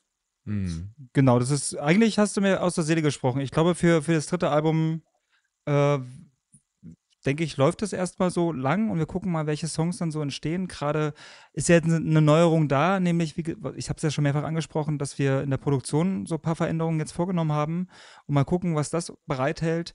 Aber ich könnte mir vorstellen, dass ab Platte 4, wenn es sie dann geben sollte, dass äh, ich dann auch echt Bock hätte, mit Oxfam zusammenzukommen und sagen, ey, bevor wir jetzt anfangen mit Schreiben, lass mal ein Konzept machen. Also wirklich mal zu sagen, wir machen es komplett anders. Ich muss da an, Place an, an Placebo denken. Die haben bei der letzten Platte auch gesagt, bevor wir Musik schreiben, lass mal überlegen, wie wir es anders machen können. Und die haben sich erstmal Titel überlegt für die Songs. Also das fand das ich auch eine Herangehensweise, die ich auch erstmal geil fand, zu sagen, okay, bevor mhm. wir irgendwie Musik oder, oder Songs haben, lass mal gucken, wie die aussehen soll, die Platte, lass mal gucken, äh, wie die Titel heißen können. Also mal wirklich sagen, man, man, man rollt das, das, äh, den, äh, man rollt das Pferd von hinten auf, ja, ich glaube, so heißt es, ne? Äh, mhm. also einfach, einfach ja, ja. mal sagen, wir machen es komplett anders. Äh, darauf hätte ich bei Platte 4 auf alle Fälle Bock, weil ich habe auch festgestellt, Platte 3 finde ich noch wichtig, dass das vielleicht so nicht zu überraschend kommt, aber bei Platte 4 einfach auch aus, aus eigener Motivation heraus und den Ansporn, sich zu überraschen, könnte ich Oxern, Das haben wir jetzt auch aufgenommen. Selbst wenn du es vergisst, kannst du es nachhören. wir können uns gern bei Platte 4 uns dann sagen, okay, jetzt löschen wir alles, was wir an Songs haben und machen komplett was Neues. So, könnte ich mir auch vorstellen. Zu sagen, wir, wir werden uns auf bestehende Demos dann nicht mehr verlassen, drücken die Löschtaste und dann gucken wir mal, wohin die Reise geht. Erwischt ihr ich euch? Glaube, ich glaube, das kann ich auch sehr gut tatsächlich, wenn etwas vorgegeben ist, thematisch äh, darauf rumschreiben. Ich glaube, die Fähigkeit, äh, die äh, liegt mir inne. Und mal was anderes, Oxon, weil wir mal wieder zusammen. Ja? Du erinnerst dich ja noch, wir haben ja noch ein Konzeptalbum rumliegen, aber das haben wir nie angefasst, nie zu Ende gedacht. 2007 begonnen und seitdem liegt es halt rum. Ja, das No. muss noch ein bisschen reifen. Das ist wie so Okay. Käse. Der muss noch ein bisschen schimmeln. ähm, so, aber, mehr sagen wir nicht dazu von der Idee. Jetzt können wir sagen, Aber ah, was machen die eigentlich? Dann könnt ihr ein bisschen Nö, da gehen, wir, da gehen wir gar nicht drauf rein. Das Was, was für einen offen. habt ihr eigentlich? Also wann gibt es irgendwie eine Idee, wann das dritte rauskommen soll? 2026. Okay, also Ja. schon noch Zeit, doch noch mal was anderes bisschen zu machen und sich zu überlegen. Ich habe, also- äh, oh, beziehungsweise ich habe keine. Ahnung, wie äh, Songwriting funktioniert. Ich habe nie in der Band gespielt, ich kann kein Instrument benennen. Wenn ich sehe, ähm, vielleicht ist es viel Zeit, vielleicht ist es wenig Zeit, aber also ich würde sagen, Zwei Jahre jetzt, sind. Mhm. Naja, ich würde sagen, in der Art und Weise, wie ihr arbeitet, sind zwei Jahre gar nicht so viel für ein neues Album, ne? Weil ihr doch ja eher einen umfangreichen Prozess habt. Also ich mit meiner Rumpel-Punk-Band, wir, wir gehen halt, in, wir haben halt das Album gerade in vier Tagen eingeknüppelt so und noch einmal im Trickster betrunken Chöre eingesungen. Das war's so. Also, Also das letzte ich- Album. Das letzte Album Ja. war das, was wo wir am längsten gebraucht haben. Also von allen Alben, das ist jetzt, glaube ich, das elfte Album, was, wo, wo ich dran beteiligt war, so insgesamt. Ähm, das war das, was am langwierigsten war tatsächlich, wo wir wirklich am meisten Geld und am meisten Zeit reingesteckt haben. Und auch ähm, mehr an Songs gearbeitet haben als zuvor. Also mit mehr meine ist ich ja auch so, du hast irgendwann, du hast irgendwann die Aufnahme, äh, der Prozess dauert ja eine Weile, dann kommt ja, so eine Platte ist ja mehr, da gehört ja irgendwie Artwork dazu, da gehört dann halt eine Promophase dazu, Videos drehen, das muss man ja alles vorbereiten, dann spielt man äh, auch noch live, sehr gerne live. Ähm, und das braucht halt seine Zeit und da sind zwei Jahre einfach mal schnell weg. Und wenn so eine Platte auch mal acht, zwölf oder 16 Wochen im Presswerk ist, ist es ja auch eine Zeit, die man so nicht, nicht dazu rechnen kann. Ne? Das ist halt Mhm. vielleicht ein Vierteljahr, was einfach weg ist. Mhm. Und ich finde halt auch bei diesem Aufnahmeprozess sollte man sich halt einfach auch Zeit nehmen. Also so dieses Konzept, vier Tage ein Album einspielen, das können Bands machen, sehr gerne, wenn sie das wollen. Ich habe ich hab letzte Woche, habe ich die, die letzte Detlef-Platte gehört und ich finde, da sind so unfassbar geile Songs drauf. Und die haben die aber auch in drei Tagen irgendwo in Transsilvanien durchgerumpelt, Sorry Boys, äh, nach Köln. Und ich habe mir die Frage gestellt, wie geil würden diese Songs klingen, wenn die die vernünftig aufgenommen hätten? So, also wie weit vorne wäre dieses Total. Album dann? Ne? Also äh, der Oxon, der, Da sind wir zum Beispiel bei dem Album äh, Immer wenn ich, musst du.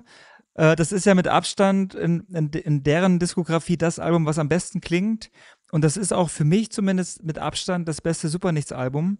Und ich würde mich sehr freuen, wenn Detlef irgendwann mal so klingen würden wie die Supernichts, weil das ist ein Album, das ist einer meiner wichtigsten Deutsch-Punk-Platten für mich. ja, also- das wollen die vielleicht auch gar nicht. Das ist ja okay, das muss jede Band für sich selber entscheiden, wie sie das macht. Ähm, aber das Deswegen finde ich auch für mich. es wird heute nichts mehr, Valentin. Es Ich habe kaum eine nichts Chance, mehr. irgendwie reinzukommen. Nee, ich gebe es ich geb's irgendwann auf. Also, ich wollte ja gar nicht so ein Thema aufmachen, aber ich möchte jetzt trotzdem mal noch kurz meine äh, zwei Cent dazu geben. Also, ich finde, man kann sich halt auch im Studio ganz schön verrennen und die Frage ist, klingt ein Album geil oder nicht? Also, das erste El Mariachi-Album klingt echt beschissen und ist trotzdem ein mega Album. Oder die erste Get Up Kids-Platte ist genial und äh, klingt total scheiße und die haben sie in drei Tagen komplett eingespielt. Also, ich, ich bin da, glaube ich, so, äh, ja, ich glaube, da, das kommt auf die, also die, ich weiß ich nicht, also ich, für mich muss zum Beispiel dieser, ich kann verstehen, dass es jetzt bei eurer Musik zum Beispiel, ne, Autotune und gewisse elektronische Elemente, klar, das braucht eine gewisse Zeit, um zu reifen. Ich finde aber, man kann auch durchaus Alben kurz und knackig machen, das geht schon, also das würde ich jetzt nicht Ja, äh, ich so- glaube, das kommt auch ein bisschen darauf an, wie die Band aufgestellt ist, wie die wahrgenommen werden möchte und welche genau, Standards so total, festgelegt werden. absolut, ja. Und ähm, für uns war eigentlich so ein sauberer Sound immer recht wichtig. Äh, Mhm. einfach weil unsere Stimmen jetzt auch nicht so rotzig sind. Also ich das ist jetzt meine Herangehensweise. Also ich hatte neulich mit, mit, mit Sammy gesprochen von Park and Ride und habe auch gesagt, wenn ich die Möglichkeit gehabt hätte, äh, frei zu entscheiden, welche Mucke ich machen wollte, dann hätte ich, glaube ich, schon auch eher so, so rotzige Musik gemacht. Aber meine Stimme gibt es einfach nicht her. Und ich habe es dann so ein bisschen wie Achim Menzel dann gemacht, als ich das gelesen hatte. Der hatte sich vor den Spiegel gestellt und hat sich überlegt, was nimmt das Publikum mir ab? Also eigentliche Frage ist, worin bin ich authentisch? Und die Frage habe ich mir dann auch gestellt und ähm, Oxon und ich waren in der Schule immer die Klassenclowns und da war klar, okay, in dem Punkt sind wir wohl offensichtlich gut, Leute zu unterhalten äh, mit doofen Sprüchen und halt mit, mit schnellen Ansagen, die, die witzig sind. Das können wir offensichtlich ganz gut und brüllen können wir auch nicht. Äh, und alles, was wir gehört haben, wo nicht gebrüllt wird, war eben so Pop-Punk. Und dann war, glaube ich, über, über unsere beschränkten Skills dann relativ schnell klar, was wir musikalisch so machen können. Aber das, äh, das ist auch für mich überhaupt nicht die Frage. Ich finde ja gerade das, was euch ausmacht, ist ja gerade vielleicht auch dieses sehr umfangreiche Songwriting und diese umfangreiche Produktion. Ne? Also deswegen, ich sage ja gar nicht, dass äh, ich wollte nur sagen, ich glaube, ne, es gibt halt verschiedene Bandbreiten der, der, der Musik, die man, die man unterschiedlich, also ich könnte mir vorstellen, so eine Band wie Park and Ride kann halt schon auch in drei Tagen ein ziemlich geiles Album einknüppeln, so, ne? Einfach, äh, weil, weil sie es könnten. Und da würde es auch passen, so. Bei uns würde ja. es, glaube ich, nicht passen. Ja. Ähm, aber mich würde was interessieren, ihr habt es gerade angesprochen. Äh, ihr habt schon zusammen ja schon viele Alben aufgenommen, auch noch mit anderen Bands. Also es gab ja nicht nur Soko Links vorher. Ähm, erwischt ihr euch manchmal, dass man denkt, boah, krass, da hätte ja auch bei unserer alten Band XY sein können? Oder, also, habt ihr so, äh, Sie, Sie, äh, äh habt ihr manchmal so Flashbacks zu, zu anderen Zeiten, wenn ihr so, jetzt beim neuen Album zum Beispiel, also gibt es einen Song auf dem neuen Album, wo ihr sagt, der hätte auch eins und eins, den hätten wir auch eins und eins von schon vor zehn Jahren so machen können? Boah, jetzt sagt er nichts, jetzt muss ich antworten. Äh, das ist ja eine schön geschlossene Frage, die du gestellt hast. Also kann ich mit Nö antworten. Also ich lebe halt auch nicht in der Vergangenheit, sondern halt im, im Hier und Jetzt. Und ja, jetzt wo du sagst und man drüber nachdenkt, klar hätte der ein oder andere Song ähm, auch früher bei den anderen Bands gepasst. Aber das ist nichts, äh, worüber ich zumindest mir Gedanken mache beim, beim Songwriting. Ich schreibe halt das auf, was, was aus mir rauskommt, so wie immer. Okay, so. aber da, ich meinte auch gar nicht darum, dass es jetzt darum geht, dass man sich beim Songwriting Gedanken macht. Es ging eher um diesen Veränderung. Also wie viel, oder andersrum, wie viel von den alten Bands steckt noch heute in, in Soko Links? Das ist, weil ihr beide ja auch damals schon viel die Songs geschrieben habt. Da können wir, da, mh, mach du, Oxon? Wir sind, ja, wir sind ja, wir sind ja, äh, haben uns ja zwar als Menschen vielleicht irgendwie entwickelt, in welche Richtung auch immer, aber wir sind ja noch die gleichen Menschen. Ähm, wir sind ja jetzt nicht, wir haben eine neue Band gegründet und jetzt sind wir zu 100% andere Leute. Das funktioniert ja nicht. Wir sind ja nach wie vor wir. Und unsere Skills sind ja immer noch genauso beschränkt wie am Anfang. Insofern äh, müssen wir auch auf das zurückgreifen, was wir haben. Aber vielleicht eine Anmerkung von einem gemeinsamen Freund, der beide Bands kennt oder drei Bands, so, also eigentlich alle Bands, in denen wir bisher gespielt haben und aktiv waren. Und er meinte, dass äh, schon rauszuhören ist, wer welchen Song geschrieben hat, äh, weil er eben das Schaffen von Oxon und von mir schon kennt. Und er meinte halt, ich spreche übrigens äh, von Michi, äh, von Micha, also weißt du, wen ich meine? Oh. Ja. Und, ja, äh, und, er, und er meinte auf jeden Fall, ja, man hört voll raus, wer welchen Song geschrieben hat und äh, da war der halt happy mit. Aber er hat trotzdem anerkannt, dass es dann trotzdem Songs gibt, die es vorher so nie gegeben hätte bei anderen Bands. Und insofern gebe ich Oxon recht, wir sind ja immer noch, äh, zumindest was, was die Standard, die, Standardaus, die Standardausführung unserer Personen sind ja immer noch dieselben. Da gab es ein paar Features, die da hinzugekommen sind, manche sind verschwunden, aber so prinzipiell die Grundausstattung ist ja dieselbe. Das heißt, man kann, wenn man das möchte, unser Schaffen betrachten und das als Weiterentwicklung betrachten, auf jeden Fall. Mhm.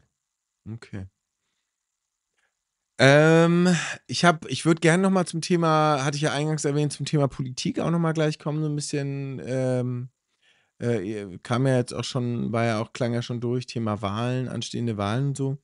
Äh, aber vorher habe ich mich noch mal gefragt, ihr habt jetzt das Album wieder bei, äh, ist ja wieder bei Backrau Fafita erschienen. Ähm, war das, also einfach aus Neugierde, war das so von vornherein sagen, ey, cool, mit Backrauf Fafita und äh, ähm, das funktioniert gut, das passt gut? Ist das einfach was, ist das einfach ein Label, das auch, äh, wo ihr euch sozusagen bei der, bei der Bandbreite, die ihr auch musikalisch macht, gut, äh, gut aufgehoben fühlt?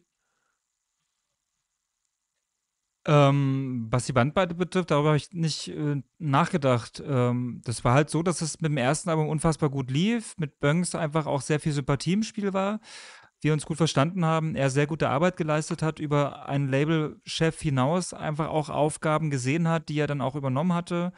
Also schon so hier und da ein paar, paar Aufgaben übernommen hatte, die eher so im Bereich Management gingen. Mhm. Und hat einfach auch, glaube ich, irgendwann so das größere Potenzial dieser Band wahrgenommen, ähnlich wie Carsten zu seiner Zeit. Und hat uns dann einfach auch nochmal so ein bisschen nochmal klar gemacht, was die Band eigentlich imstande ist, leisten zu können. Und mhm. das zeigt sich ja anhand schon auch der Spotify- äh, Zahl von den HörerInnen, dass wir, glaube ich, dritt- oder viert erfolgreichste Band des Labels sind. Also irgendwie hat er ja auch Dinge gesehen. Und beispielsweise die Single Demokratienpilzkultur da war ganz kurzfristig von ihm die Idee, das als Single rauszubringen. Das war ursprünglich gar nicht gedacht, aber meinte, hier, der Song muss unbedingt kommen. Dann haben wir gesagt, ach fuck, okay, wir haben aber kein Video. Dann war aber auch klar, wir spielen keine Konzerte. Dann haben wir genug Zeit, noch ein Video zwischendurch zu drehen. Haben das schnell mhm. organisiert. Und ja. ja. und dann ist das so mit der erfolgreichste Song geworden. Einfach weil Bönks das gespürt hat, dass das funktionieren kann der einfach mhm. gecheckt hat, okay, der Song ist gut, der ist äh, hervorragend witzig, äh, das Feature würde funktionieren, das waren alles so seine Gedanken. Und wir haben da jetzt nicht gedacht, da müssen wir widersprechen, sondern, jo, wenn er das sagt, dann wird halt gemacht. Und hat er offenbar auch den richtigen Riecher und ist ja mit Abstand auch der meistgeklickteste Song auf Spotify. Mhm. Naja. Ah, und äh, weil du es gerade ansprichst, Video, ich hatte es ja schon erwähnt, mich, äh, ich finde eure Videos wirklich, ja, kann ich sagen, fantastisch. Ich mag diesen dadaistischen äh, Style, den, der teilweise auch sehr improvisiert wirkt, was ich aber auch total einfach sympathisch finde. Ähm, ihr habt ja jetzt schon äh, Todesstrafe für Oxfam alle. muss lachen, weil die bei, weil, weil, weil es improvisiert ist. Genau so weil es improvisiert ist. Also es wirkt improvisiert, weil es improvisiert ist. Ja, aber das ist ja auch also ich, ich, bin mal ganz, ja, ich bin mal ganz ehrlich, die beiden Videos, die wir für FOT und für Lala Lobbyland gemacht haben, die sind aus reiner Not entstanden. Äh, wir hatten, ich habe da erzählt, wir hatten Verzögerungen wegen Todesfall, äh, dann hat sich da wieder was verzögert wegen Todesfall und, äh, und irgendwann war scheiße, wir brauchen noch Videos, fuck, und wir veröffentlichen nächste Woche, fuck, dann irgendwie, komm, lass wieder Greenscreen buchen und äh, ja, alle, die mithelfen, einschließlich Carsten, ihr bringt alles mit, was euch irgendwie einfällt. Hört euch bitte die Songs nochmal an und bringt alles mit, was irgendwie mit dem Song in Verbindung stehen könnte. So, dann haben wir das, das Studio organisiert, haben den Kameramann organisiert. Der Kameramann, also in dem Fall Arvid, fragte, was habt ihr euch gedacht? Und wieso, ja, keine Ahnung, lass mal gucken, was, was kommt. Und dann im Schnitt mit unserem Cutter ist dann irgendwie klar geworden, okay, das kann in die Richtung gehen. Okay. Ähm, ihr habt ja jetzt schon veröffentlicht, ne, also es sind ja schon einiges gewesen. Todesstrafe für alle, wenn ich es richtig überblickt habe, dann äh, FOT, ähm, dann Lala Lobbyland, dann war da noch einer, ne? Habe ich gerade einen vergessen. Genau, wer hat damit angefangen? Das Video, was wer du richtig genau. toll findest, genau, das, das kannst du nicht erinnern. Wow, Valentin, das ist ja kognitiv wirklich eine Glanzleistung von dir. Ich bin beeindruckt. Hey, es ist, hey, es ist Viertel vor elf. Ich hab, bin seit fünf Uhr, fünf Uhr wach. Also äh, man sehe es mir nach. Ähm, aber kommt noch was. Macht ihr noch ein Video? Nee, tatsächlich nicht. Also, okay. mal, warte mal, wir wissen es doch nicht. Äh, dadurch, dass das äh, Carsten gestorben ist, hat sich bei uns echt viel verschoben. Es sollte ja. eigentlich auch noch zu Nazis töten noch ein Video kommen. Äh, das haben wir dann komplett auf Eis gelegt, weil wir gesagt haben, wir schaffen es einfach nicht. Die Trauerarbeit hat so viel Platz eingenommen. Äh, hinzu kam, dass wir dann auch jetzt noch für Carstens Geburtstag am 20.06. auch involviert sind in die Planung, weil da soll es am 20.06. noch in der Moritzpastei einen äh, Veranstaltungsort, wo er selber auch als Bandbetreuung gearbeitet hat, soll nochmal noch mal eine Feier stattfinden. Da hängen wir so ein bisschen mhm. drin in der Planung. Ähm, das hat dann irgendwie nochmal Fokus eingenommen. Wir haben zumindest mit Bönks, unserem Labelchef, für die, die später eingeschaltet haben, ist ja gar kein Radio, vergesst es, ähm, haben wir zumindest besprochen, dass wir noch eine EP rausbringen wollen.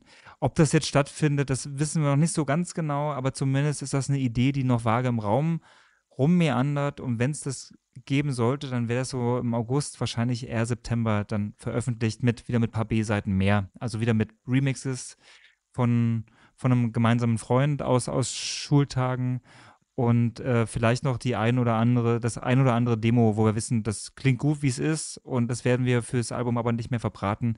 Das sind aber alles nur vage Ideen, die Oxon und ich auf alle Fälle auch noch besprechen müssen. Insofern Ja. Da habt ihr jetzt ja die Chance zu. Dafür sind wir Gut, ja dass da. wir euch ja wieder den. Ja, das ich war gerade mein Gedanke, wir Das geben war mein euch den Gedanke. Raum. ähm, Was war dein aber, Gedanke? Ich habe es ähm, gerade nicht verstanden. Das war Nein. genau der Gedanke, dass wir jetzt den, äh, die Zeit und vor allem den Raum haben, dieses äh, Thema zu besprechen.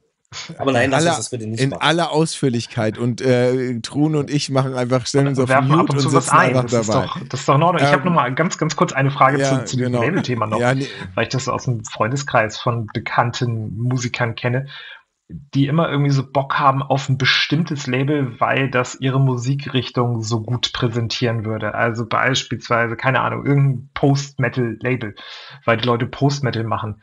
Das klang jetzt bei euch gar nicht so durch, dass das Musikalische da irgendwie so im Vordergrund steht, sondern eigentlich eher so die Leute dahinter oder wie das Ganze gehandhabt wird. Gibt's da irgendwas, wo ihr sagt, wo, wo ihr, wo ihr auch raufpassen würdet Also- überhaupt? Oder wo ihr sagt, so geil auf dieses Label, das wäre mal so das große Ding? Wir haben ja bei dem ersten Album einfach kein Label gefunden. Also Backhauf Fafita war, glaube ich, auch nicht das erste Label, was wir angeschrieben haben, sondern äh, das einzige, was geantwortet hat von all den Anfragen, die wir rausgehauen haben. Und das war jetzt auch nicht die positivste Antwort. Da, ich, ich möchte an der Stelle nur sagen, wir haben mehrere angeschrieben. Es gab auch Antworten, ganz nette. Zum Beispiel Audiolith haben auch zurückgeschrieben, aber haben gesagt, nein. So. Und dann hat man noch ein anderes Label befreundet, also ein Freund, der hat auch gesagt, das ist ihm zu elektronisch. Nein.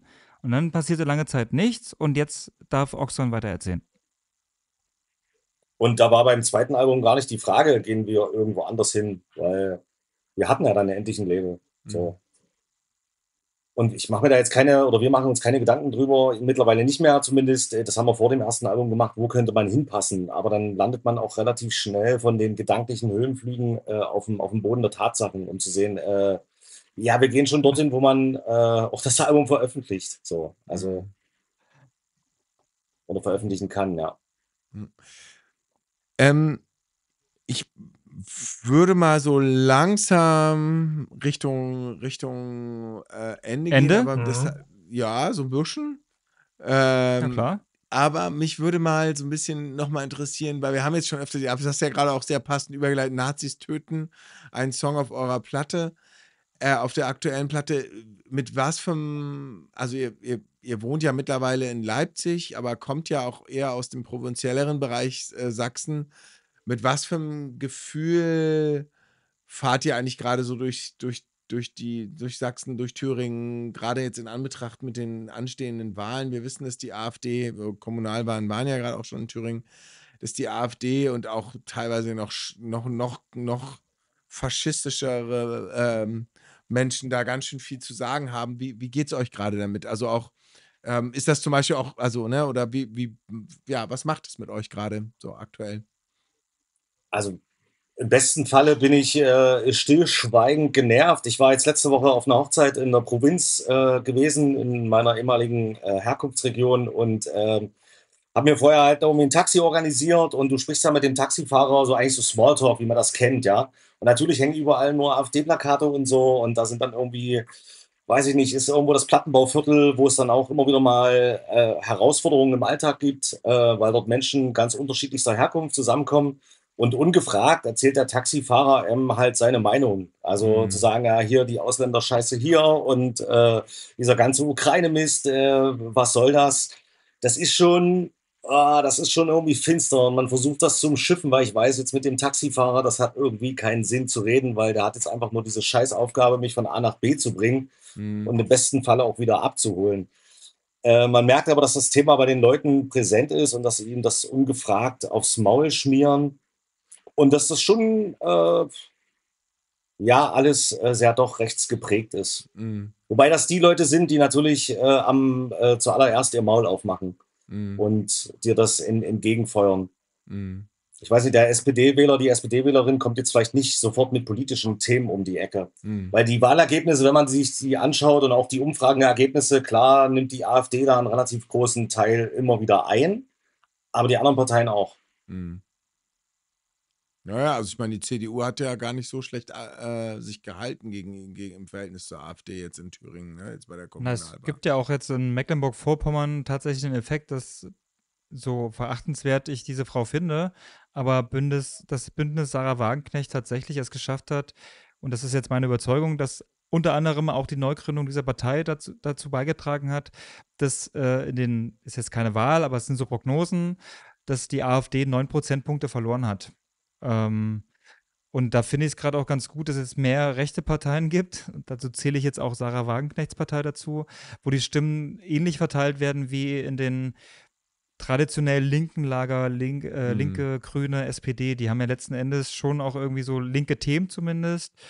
Und da hatte man eine größere Auswahl als im rechten Spektrum. Da hatte man bloß die CD, CDU und die AfD und jetzt kommt halt eben noch Sarah Wagenknecht dazu. Und da habe ich schon so ein bisschen das Gefühl, dass sich da auch die Kräfte sich so ein bisschen, bisschen abschwächen können. Das hm. ist zumindest auch ein bisschen meine Hoffnung. Okay. Es ist auch, weil du sagtest, okay, wie geht es euch damit auf dem Land? Es ist ja grundsätzlich ein gesamtdeutsches Thema. Also ich war Total. letztes Jahr irgendwann bei irgendeiner Band, wo ich nicht weiß, wie die heißt, äh, auf einem Konzert in Leipzig. Äh, die kam, ich sag mal, klassisch aus dem Westen. Ähm, und die hat auf der, äh, auf der Bühne eine Ansage gemacht, ja, bei euch ist das ja alles so schlimm mit AfD und Bar, wir müssen was dagegen tun. So dieses Ganze, was halt in linken Bubbles dann halt auch immer wieder passiert. Und ich stand ganz hinten am Tresen und ich habe dann echt durch den ganzen Saal gepflegt. Ähm, ey, hallo, ihr kommt, ihr waren gerade Kommunalwahlen in Hessen und da hatte die AfD auch, weiß ich nicht, 15 oder 18 Prozent, wo ich gesagt habe, hey, das ist jetzt kein Thema für Ostdeutschland, was du jetzt hier auf der Bühne kundtun musst. Mhm äh, hat der Ansagen-Typ dann auch eingesehen und hat sich dann relativiert. Aber es ist ein gesamtdeutsches Problem. Total. Ähm, und kein, kein, kein rein ostdeutsches. Wobei genau, wir das, das in, in der Provinz natürlich schon merken, dass da fast ausschließlich äh, Plakate von AfD und Co., alles was noch rechter geht, freie Sachsen hängen. Und dass äh, halt auch die Jugend oder die Leute dort stark geprägt sind. Jetzt am Wochenende war Thüringen, das sah jetzt in den Kommunalwahlen auch nicht so so gut aus, war viel blau geprägt. Ähm, das ist schon etwas, was uns die nächsten Jahre auch begleiten wird. Es ist ja auch nicht mal nur ein gesamtdeutsches Problem. Ich möchte jetzt, oh, ich möchte jetzt hier keinen Politikvortrag äh, halten, bin, laufe aber die Gefahr, da rein zu geraten. Aber wir haben ja irgendwie die Wahlen in Brasilien, Argentinien, ähm, Russland äh, mit seinem Diktator, äh, China, die irgendwie nach ganz viel Ungarn. Scheiße strebt, was auch nationalistisch ist. Wir haben die Wahlen in den USA, wo das Volk komplett gespalten ist. Es ist ein Thema, naja, was auch, also ganz viel auch Europa. Betrifft. Guck dir die Niederlande an, guck dir den, äh, guck dir alles an, was gerade in Europa passiert mit dem äh, Rassemblement National, die sich irgendwie versuchen, da reinzuzecken und die das ja auch schon seit Jahren vorbereiten. Das ist jetzt ja auch ja. bei denen auch kein Trend, der irgendwie äh, letzten zwei, drei Jahre jetzt angestiegen ist, sondern ähm, das passiert halt ja, über einen langen Zeitraum. Und genau, und dann zu sagen, das ist ein rein ostdeutsches Problem, ist ein bisschen, bisschen arg einfach gedacht. Aber wie so oft bei den ganzen politischen Themen, die, die dann so einseitig betrachtet werden. Und das ist, ja, da kann man, glaube ich, jetzt viele Themen dann nennen, die, die einseitig betrachtet werden und ähm, danach stundenlang drüber diskutieren. Ähm, Ich, ich kann nur sagen, es macht mich auf alle Fälle wütend, weil dann das Thema äh, Nazis in Dortmund zum mhm. Beispiel gar nicht thematisiert wird so wirklich, obwohl es in Dortmund auch ein massives Nazi-Problem gibt. Darüber wird aber nicht so hart geredet wie in, in, in Sachsen, in Thüringen und Sachsen-Anhalt. Das sind ja meistens auch dann die Sündenböcke, würde ich mal behaupten.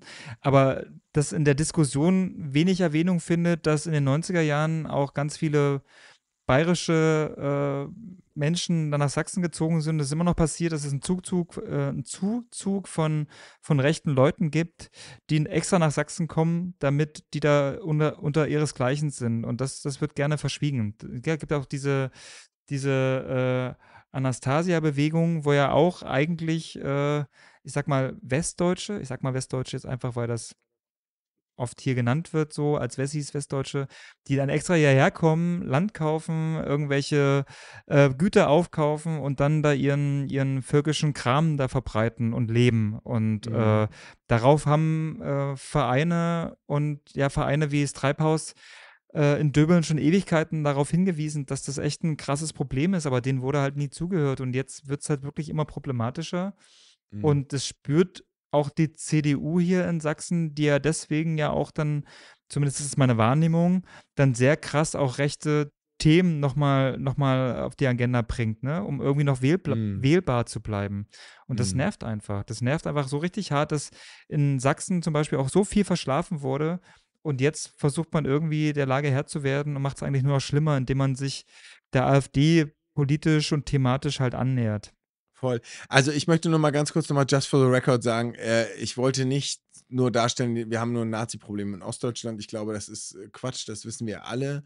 Ähm, äh, zumal wir ja jetzt auch gerade die, diese, dieses absurde rassistische Video auf äh, Sylt, das ja jetzt wirklich, äh, wo man nicht vergessen werden sollte, also die ganze Aufregung, äh, die ganze Aufregung äh, über dieses Sylter Video ist auch ein bisschen absurd, weil einfach natürlich gibt es auch in allen, ne, also rassistische Ressentiments, Rassismus gibt es in, in allen Schichten, in allen Bundesländern äh, oder äh, ne, wir können es auch globaler austreiben. Insofern äh, genau, oder auch Antisemitismus. Ähm, mich hat es nur so ein bisschen interessiert, weil jetzt diese Wahlen ansteht. Ich hatte mich vor kurzem mit einem Bekannten aus Leipzig, äh, nee, der also jetzt auch in Leipzig wohnt, aber auch aus, aus einer ländlicheren Region kommt.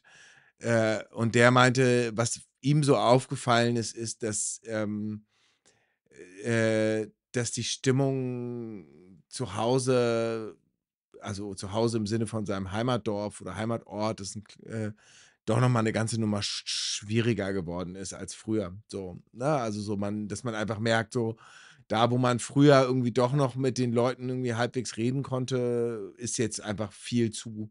So und genau. Deswegen bin ich so ein bisschen darauf gekommen, ohne jetzt zu sagen, dass das pauschal überall so sein soll.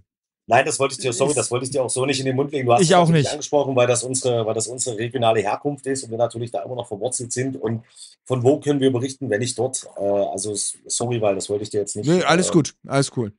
anheften. Ich will nur sagen, also diese Themen, die äh, da angesprochen werden, die sind jetzt vielleicht doller, weil jeder glaubt, seine Meinung nicht mehr kundtun zu können, ohne zu merken, dass er gerade kundtut. Und weil er glaubt, sie nicht mehr kundtun zu können, sagt er sie halt lauter und äh, doppelt so oft. Ja, deswegen hört sich das wahrscheinlich auch doller, ist es vielleicht auch doller. Ich glaube, die Meinung an sich, dies, äh, diese rechtsextremen Neigungen, die gab es bei uns, also bei mir im Dorf auf jeden Fall, die waren spürbar, die wurden auch offen ausgelebt zum Teil. Ähm, also, dass da so Reichsflaggen äh, in irgendwelchen, in irgendwelchen Gärten äh, wehten, das ist jetzt kein, kein Bild, das sich jetzt erst etabliert, das gab es in den 90ern einfach sehr häufig. Und, Ja. ähm, und, und ich glaube, das Einzige, was jetzt passiert, ist, dass durch die sozialen Medien einfach die Menschen glauben, sie wären jetzt in der Mehrheit, weil sie schneller zu Leuten kommen, die die gleiche Meinung vertreten. Und das hat natürlich auch so einen Effekt, dass das auch wieder mehr Leute werden. Ne? Also so eine Mhm. gefühlte Mehrheit schafft dann doch eine realistische Mehrheit. Klar, Und das, das wiederum ist auch, das ja. Gefährliche, dass die Leute sich jetzt über Social Media schneller verknüpfen können, sich schneller die Köpfe heiß reden können. Es gibt ja so Filterblasen, ne, wo dann Leute sich in Mhm. Telegram-Gruppen dann einfach finden, die gleichen Themen beackern und weil sie die gleichen Themen geil finden, sich dann auch wirklich extremer ähm, ja, entwickeln und somit dann plötzlich jemanden umzubringen, wie zum Beispiel in Hanau der Amoklauf, der ja dann sich irgendwie auch wohl, der muss ich jetzt überlegen, ich kann das jetzt nicht verifizieren, aber da auch Leute in solchen Telegram-Gruppen sich ähm, radikalisiert haben. Der Typ, der Lübcke abgeknallt hat, der hat sich definitiv von so einem Mordaufruf Ja, halt auch lenken lassen. total. Ähm, ich glaube, das ist so ein bisschen die Gefahr, äh, was ein bisschen, das ist, das ist die arge Gefahr, dass die Leute, dass die Politik noch nicht geschnallt hat, dass man Schülerinnen und Schüler in Schulen schon auf den Scheiß vorbereiten muss und ihnen erklären muss, welche Effekte auf sie warten. Also was, was Ja. Filterblasen sind, was zum Beispiel Echokammern sind. Übrigens, Filterblasen, Entschuldigung, ich meine nicht Filterblasen, sondern Echokammern. Also so Mhm. Telegram-Gruppen sind Echokammern, wo das die eigene Meinung auf Widerhall trifft Ja. und somit sich verstärkt. Und ähm, war jetzt ein inhaltlicher Fehler meinerseits, pardon. Und das ist, glaube ich, so ein bisschen die, äh, nicht nur ein bisschen, das ist dieses arge Problem, dass das Internet und seine Wirkung noch nicht wirklich in Gänze klar ist. Ja. Ja, also äh, genau, ich glaube, über die, die, die aktuelle Situation, ähm, da gehört, glaube ich, auch, also da könnte man auch, glaube ich, noch eine gute Exkursion äh, machen zum Thema, was äh, gesellschaftlich, äh, sage ich mal, also was Politik verschlafen hat, um wirklich effizient, also wenn ich jetzt höre zum Beispiel, dass irgendwie zur Debatte stand, irgendwie Fonds wie Demokratie leben wieder einzustellen oder zumindest den, das Geld zu, zu, äh, zu kürzen, dann denke ich nur, ich sag mal, ihr habt den Schuss auch nicht gehört, aber gut. Aber das sprengt jetzt, glaube ich, den Rahmen dieses Podcasts. Apropos verschlafen. Thron, wo bist du? Wo bist du? Der ja, ist weg. Weiß, ja, der, der hat weg. keinen Bock mehr auf die Echokammer vom Bierschinken. Ja, der, der, der hat sich jetzt aus dieser Echokammer genau. entfernt. Ja, der wollte genau, sich nicht radikalisieren lassen von uns Vieren. Also mit nee, und ich, ich, glaube, Thron, hat, Thron, Thron wollte einfach signalisieren, wir, wir oh reden. Oh Gott, jetzt reden, die, so jetzt reden die Dorfaussies wieder von ihren Problemen. Kein Bock dazu ja, zu hören. Die Jammer-Aussies. Ah, Quatsch. Jetzt nutzen die jede Plattform Jetzt nutzen die jede Plattform, um wieder rumzujammern. Diese Verlierer, ey, diese Aussie-Verlierer. Jetzt gründen die noch Bands, damit man denen zuhört. Diese Wende-Loser. also, äh, oh, auch, ich höre jetzt nichts mehr. Seid ihr weg? Nee, also der Thron ist weg. Ich bin da. Ja, ich bin raus, glaube ich. Du bist raus? Wir hören dich, wir hören dich aber. Wir hören dich, genau. Jetzt höre ich wieder ein Zappeln. Ja, wir hören dich. Also, wir jetzt hören ist dich. wieder gut. Jetzt, jetzt, ist Wieder, jetzt seid ihr wieder da. Genau. Nee, aber ähm, prinzipiell, wir können festhalten, es ist ein gesamtdeutsches Problem, äh, ja. was sich tatsächlich in den neuen Bundesländern, gerade in Mitteldeutschland, äh, auf alle Fälle ganz schön krass zeigt durch die Wahlen. Und insofern äh, ist die Wahrnehmung schon irgendwo berechtigt, aber trotzdem greift sie zu kurz. Ja. So, gut, Leute. Ich, äh, noch was Leichtes, was Leichtes zum Abschluss. Zu, was, was, Leichtes, was, was Leichtes. Wenn du ein guter Journalist bist, Valentin, dann. Ich bin aber kein Leichtes Journalist. Ich bin so ein Hobby-Podcaster. ich bin so, so ähm, was Leichtes zum Abschied. Oh Gott, ich bin so ganz schlecht ja. bei sowas, ich, weil ich bin ja immer nicht vorbereitet. Okay, äh, Valentin, was ist dein Lieblingsessen? Mein Lieblingsessen. Ja. Äh, alles mit Pilzen. Ich liebe Pilze. Boah, das ist ja, das ist ja noch schlimmer als Ska-Musik fast.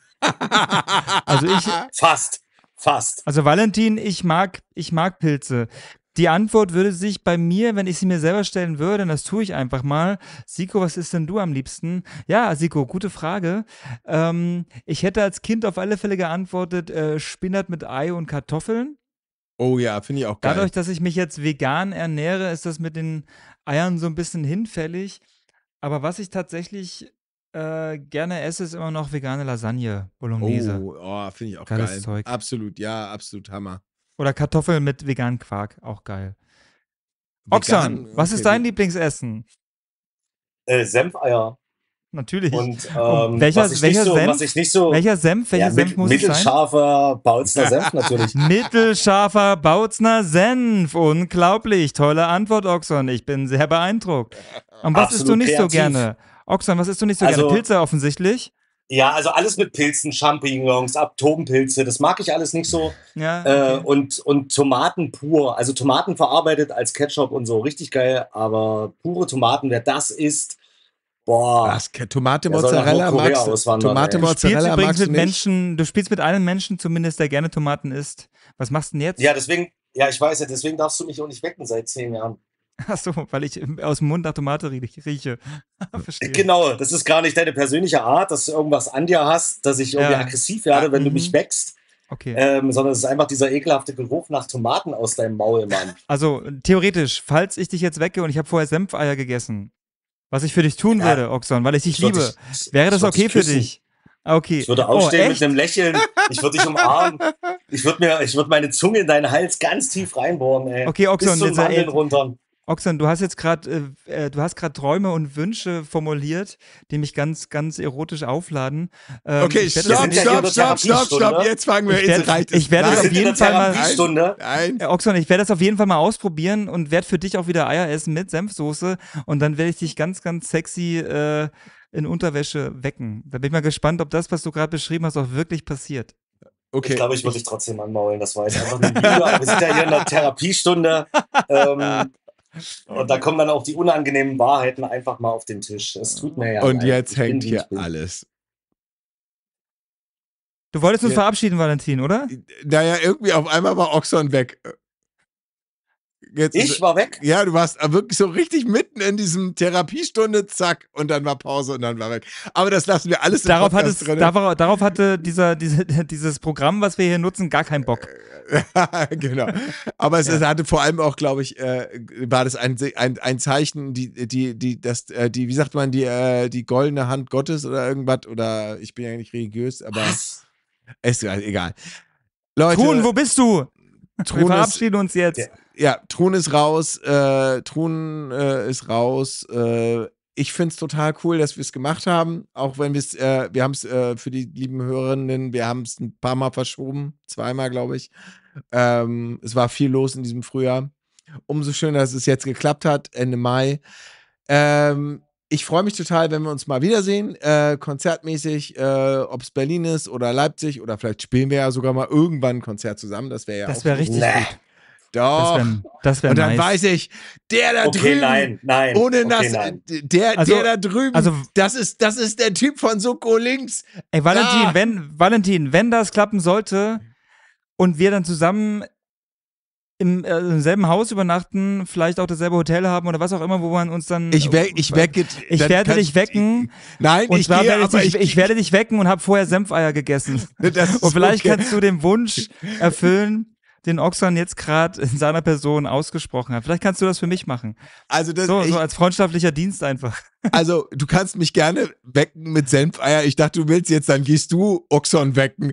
Und dann, dann, dann Nee, nee. Den, den Job Nee, nee, übernehme ich den nicht. Job, den, den, den werde ich keinen ans, ans ich ziehe mir nicht den. Hass von Oxon Das auf. stimmt doch gar nicht. Als wir letztes Jahr auf Tour waren im Nightliner, da hast du auch immer andere Leute vorgeschickt, mich zu wecken. Und komischerweise war da, war, war da Oxon tatsächlich sehr, sehr nett.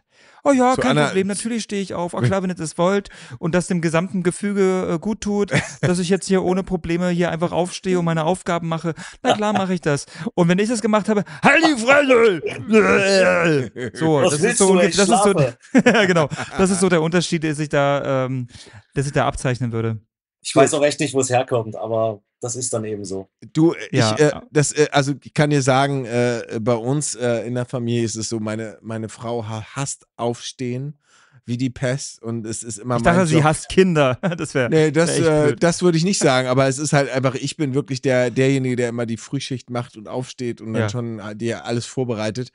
Äh, insofern, ich Dafür kannst du dann spät abends Podcasts aufnehmen. Genau, zum Beispiel ab und zu. Aber ich meinte, wollte damit sagen, ich werde auch mit Oxon fertig, also wenn ich ihn irgendwann mal wecken muss. damit äh, bedanke ich mich nochmal ganz, ganz herzlich für, für, dafür, dass ihr euch die Zeit genommen habt, mit uns zu quatschen über euer neues Sehr, sehr Album. gern. Also eigentlich ja Ähm, nur mit dir. Ja, eigentlich nur mit mir, aber Trun war bis vor kurzem tatsächlich noch da. Das ist auch. Ja. Ähm, vielleicht schickt er uns ja. weg. Ja, einfach vielleicht. weg. Ich sag ihm der hat die Kamera noch. Aber er hat die Kamera angelassen, damit es auch wirklich jeder sieht. Ja, und das Gute ist, wir werden ihm einfach im Nachhinein sagen, er soll uns noch eine Verabschiedungssprachnachricht schicken, die er, wir dann da Auf jeden reinschneiden. Fall. Also Valentin, vielen, vielen Dank für die Einladung. Truhen, vielen, vielen Dank für die Einladung. Wir waren sehr gerne wieder bei euch. Wir kommen gern wieder. Also wenn wiederkommen heißt, dass man zu Hause bleiben kann, kommen wir gern wieder. Und äh, ja, wenn du ein Konzert hast und du uns einladen möchtest, schreib unserer Bookingfirma. Naja, genau. Und dann äh, zahle ich das aus meinem, aus meinem äh, Kaffee, aus meiner Kaffeekasse oder so, genau. Ja, genau so habe ich mir das gedacht, ja. Prima. Also, ihr Lieben, lasst euch gut gehen. Habt einen wunderbaren Sommer, viele Konzerte und äh, bis bald. Bis bald. Tschüss. Danke. Tschüss.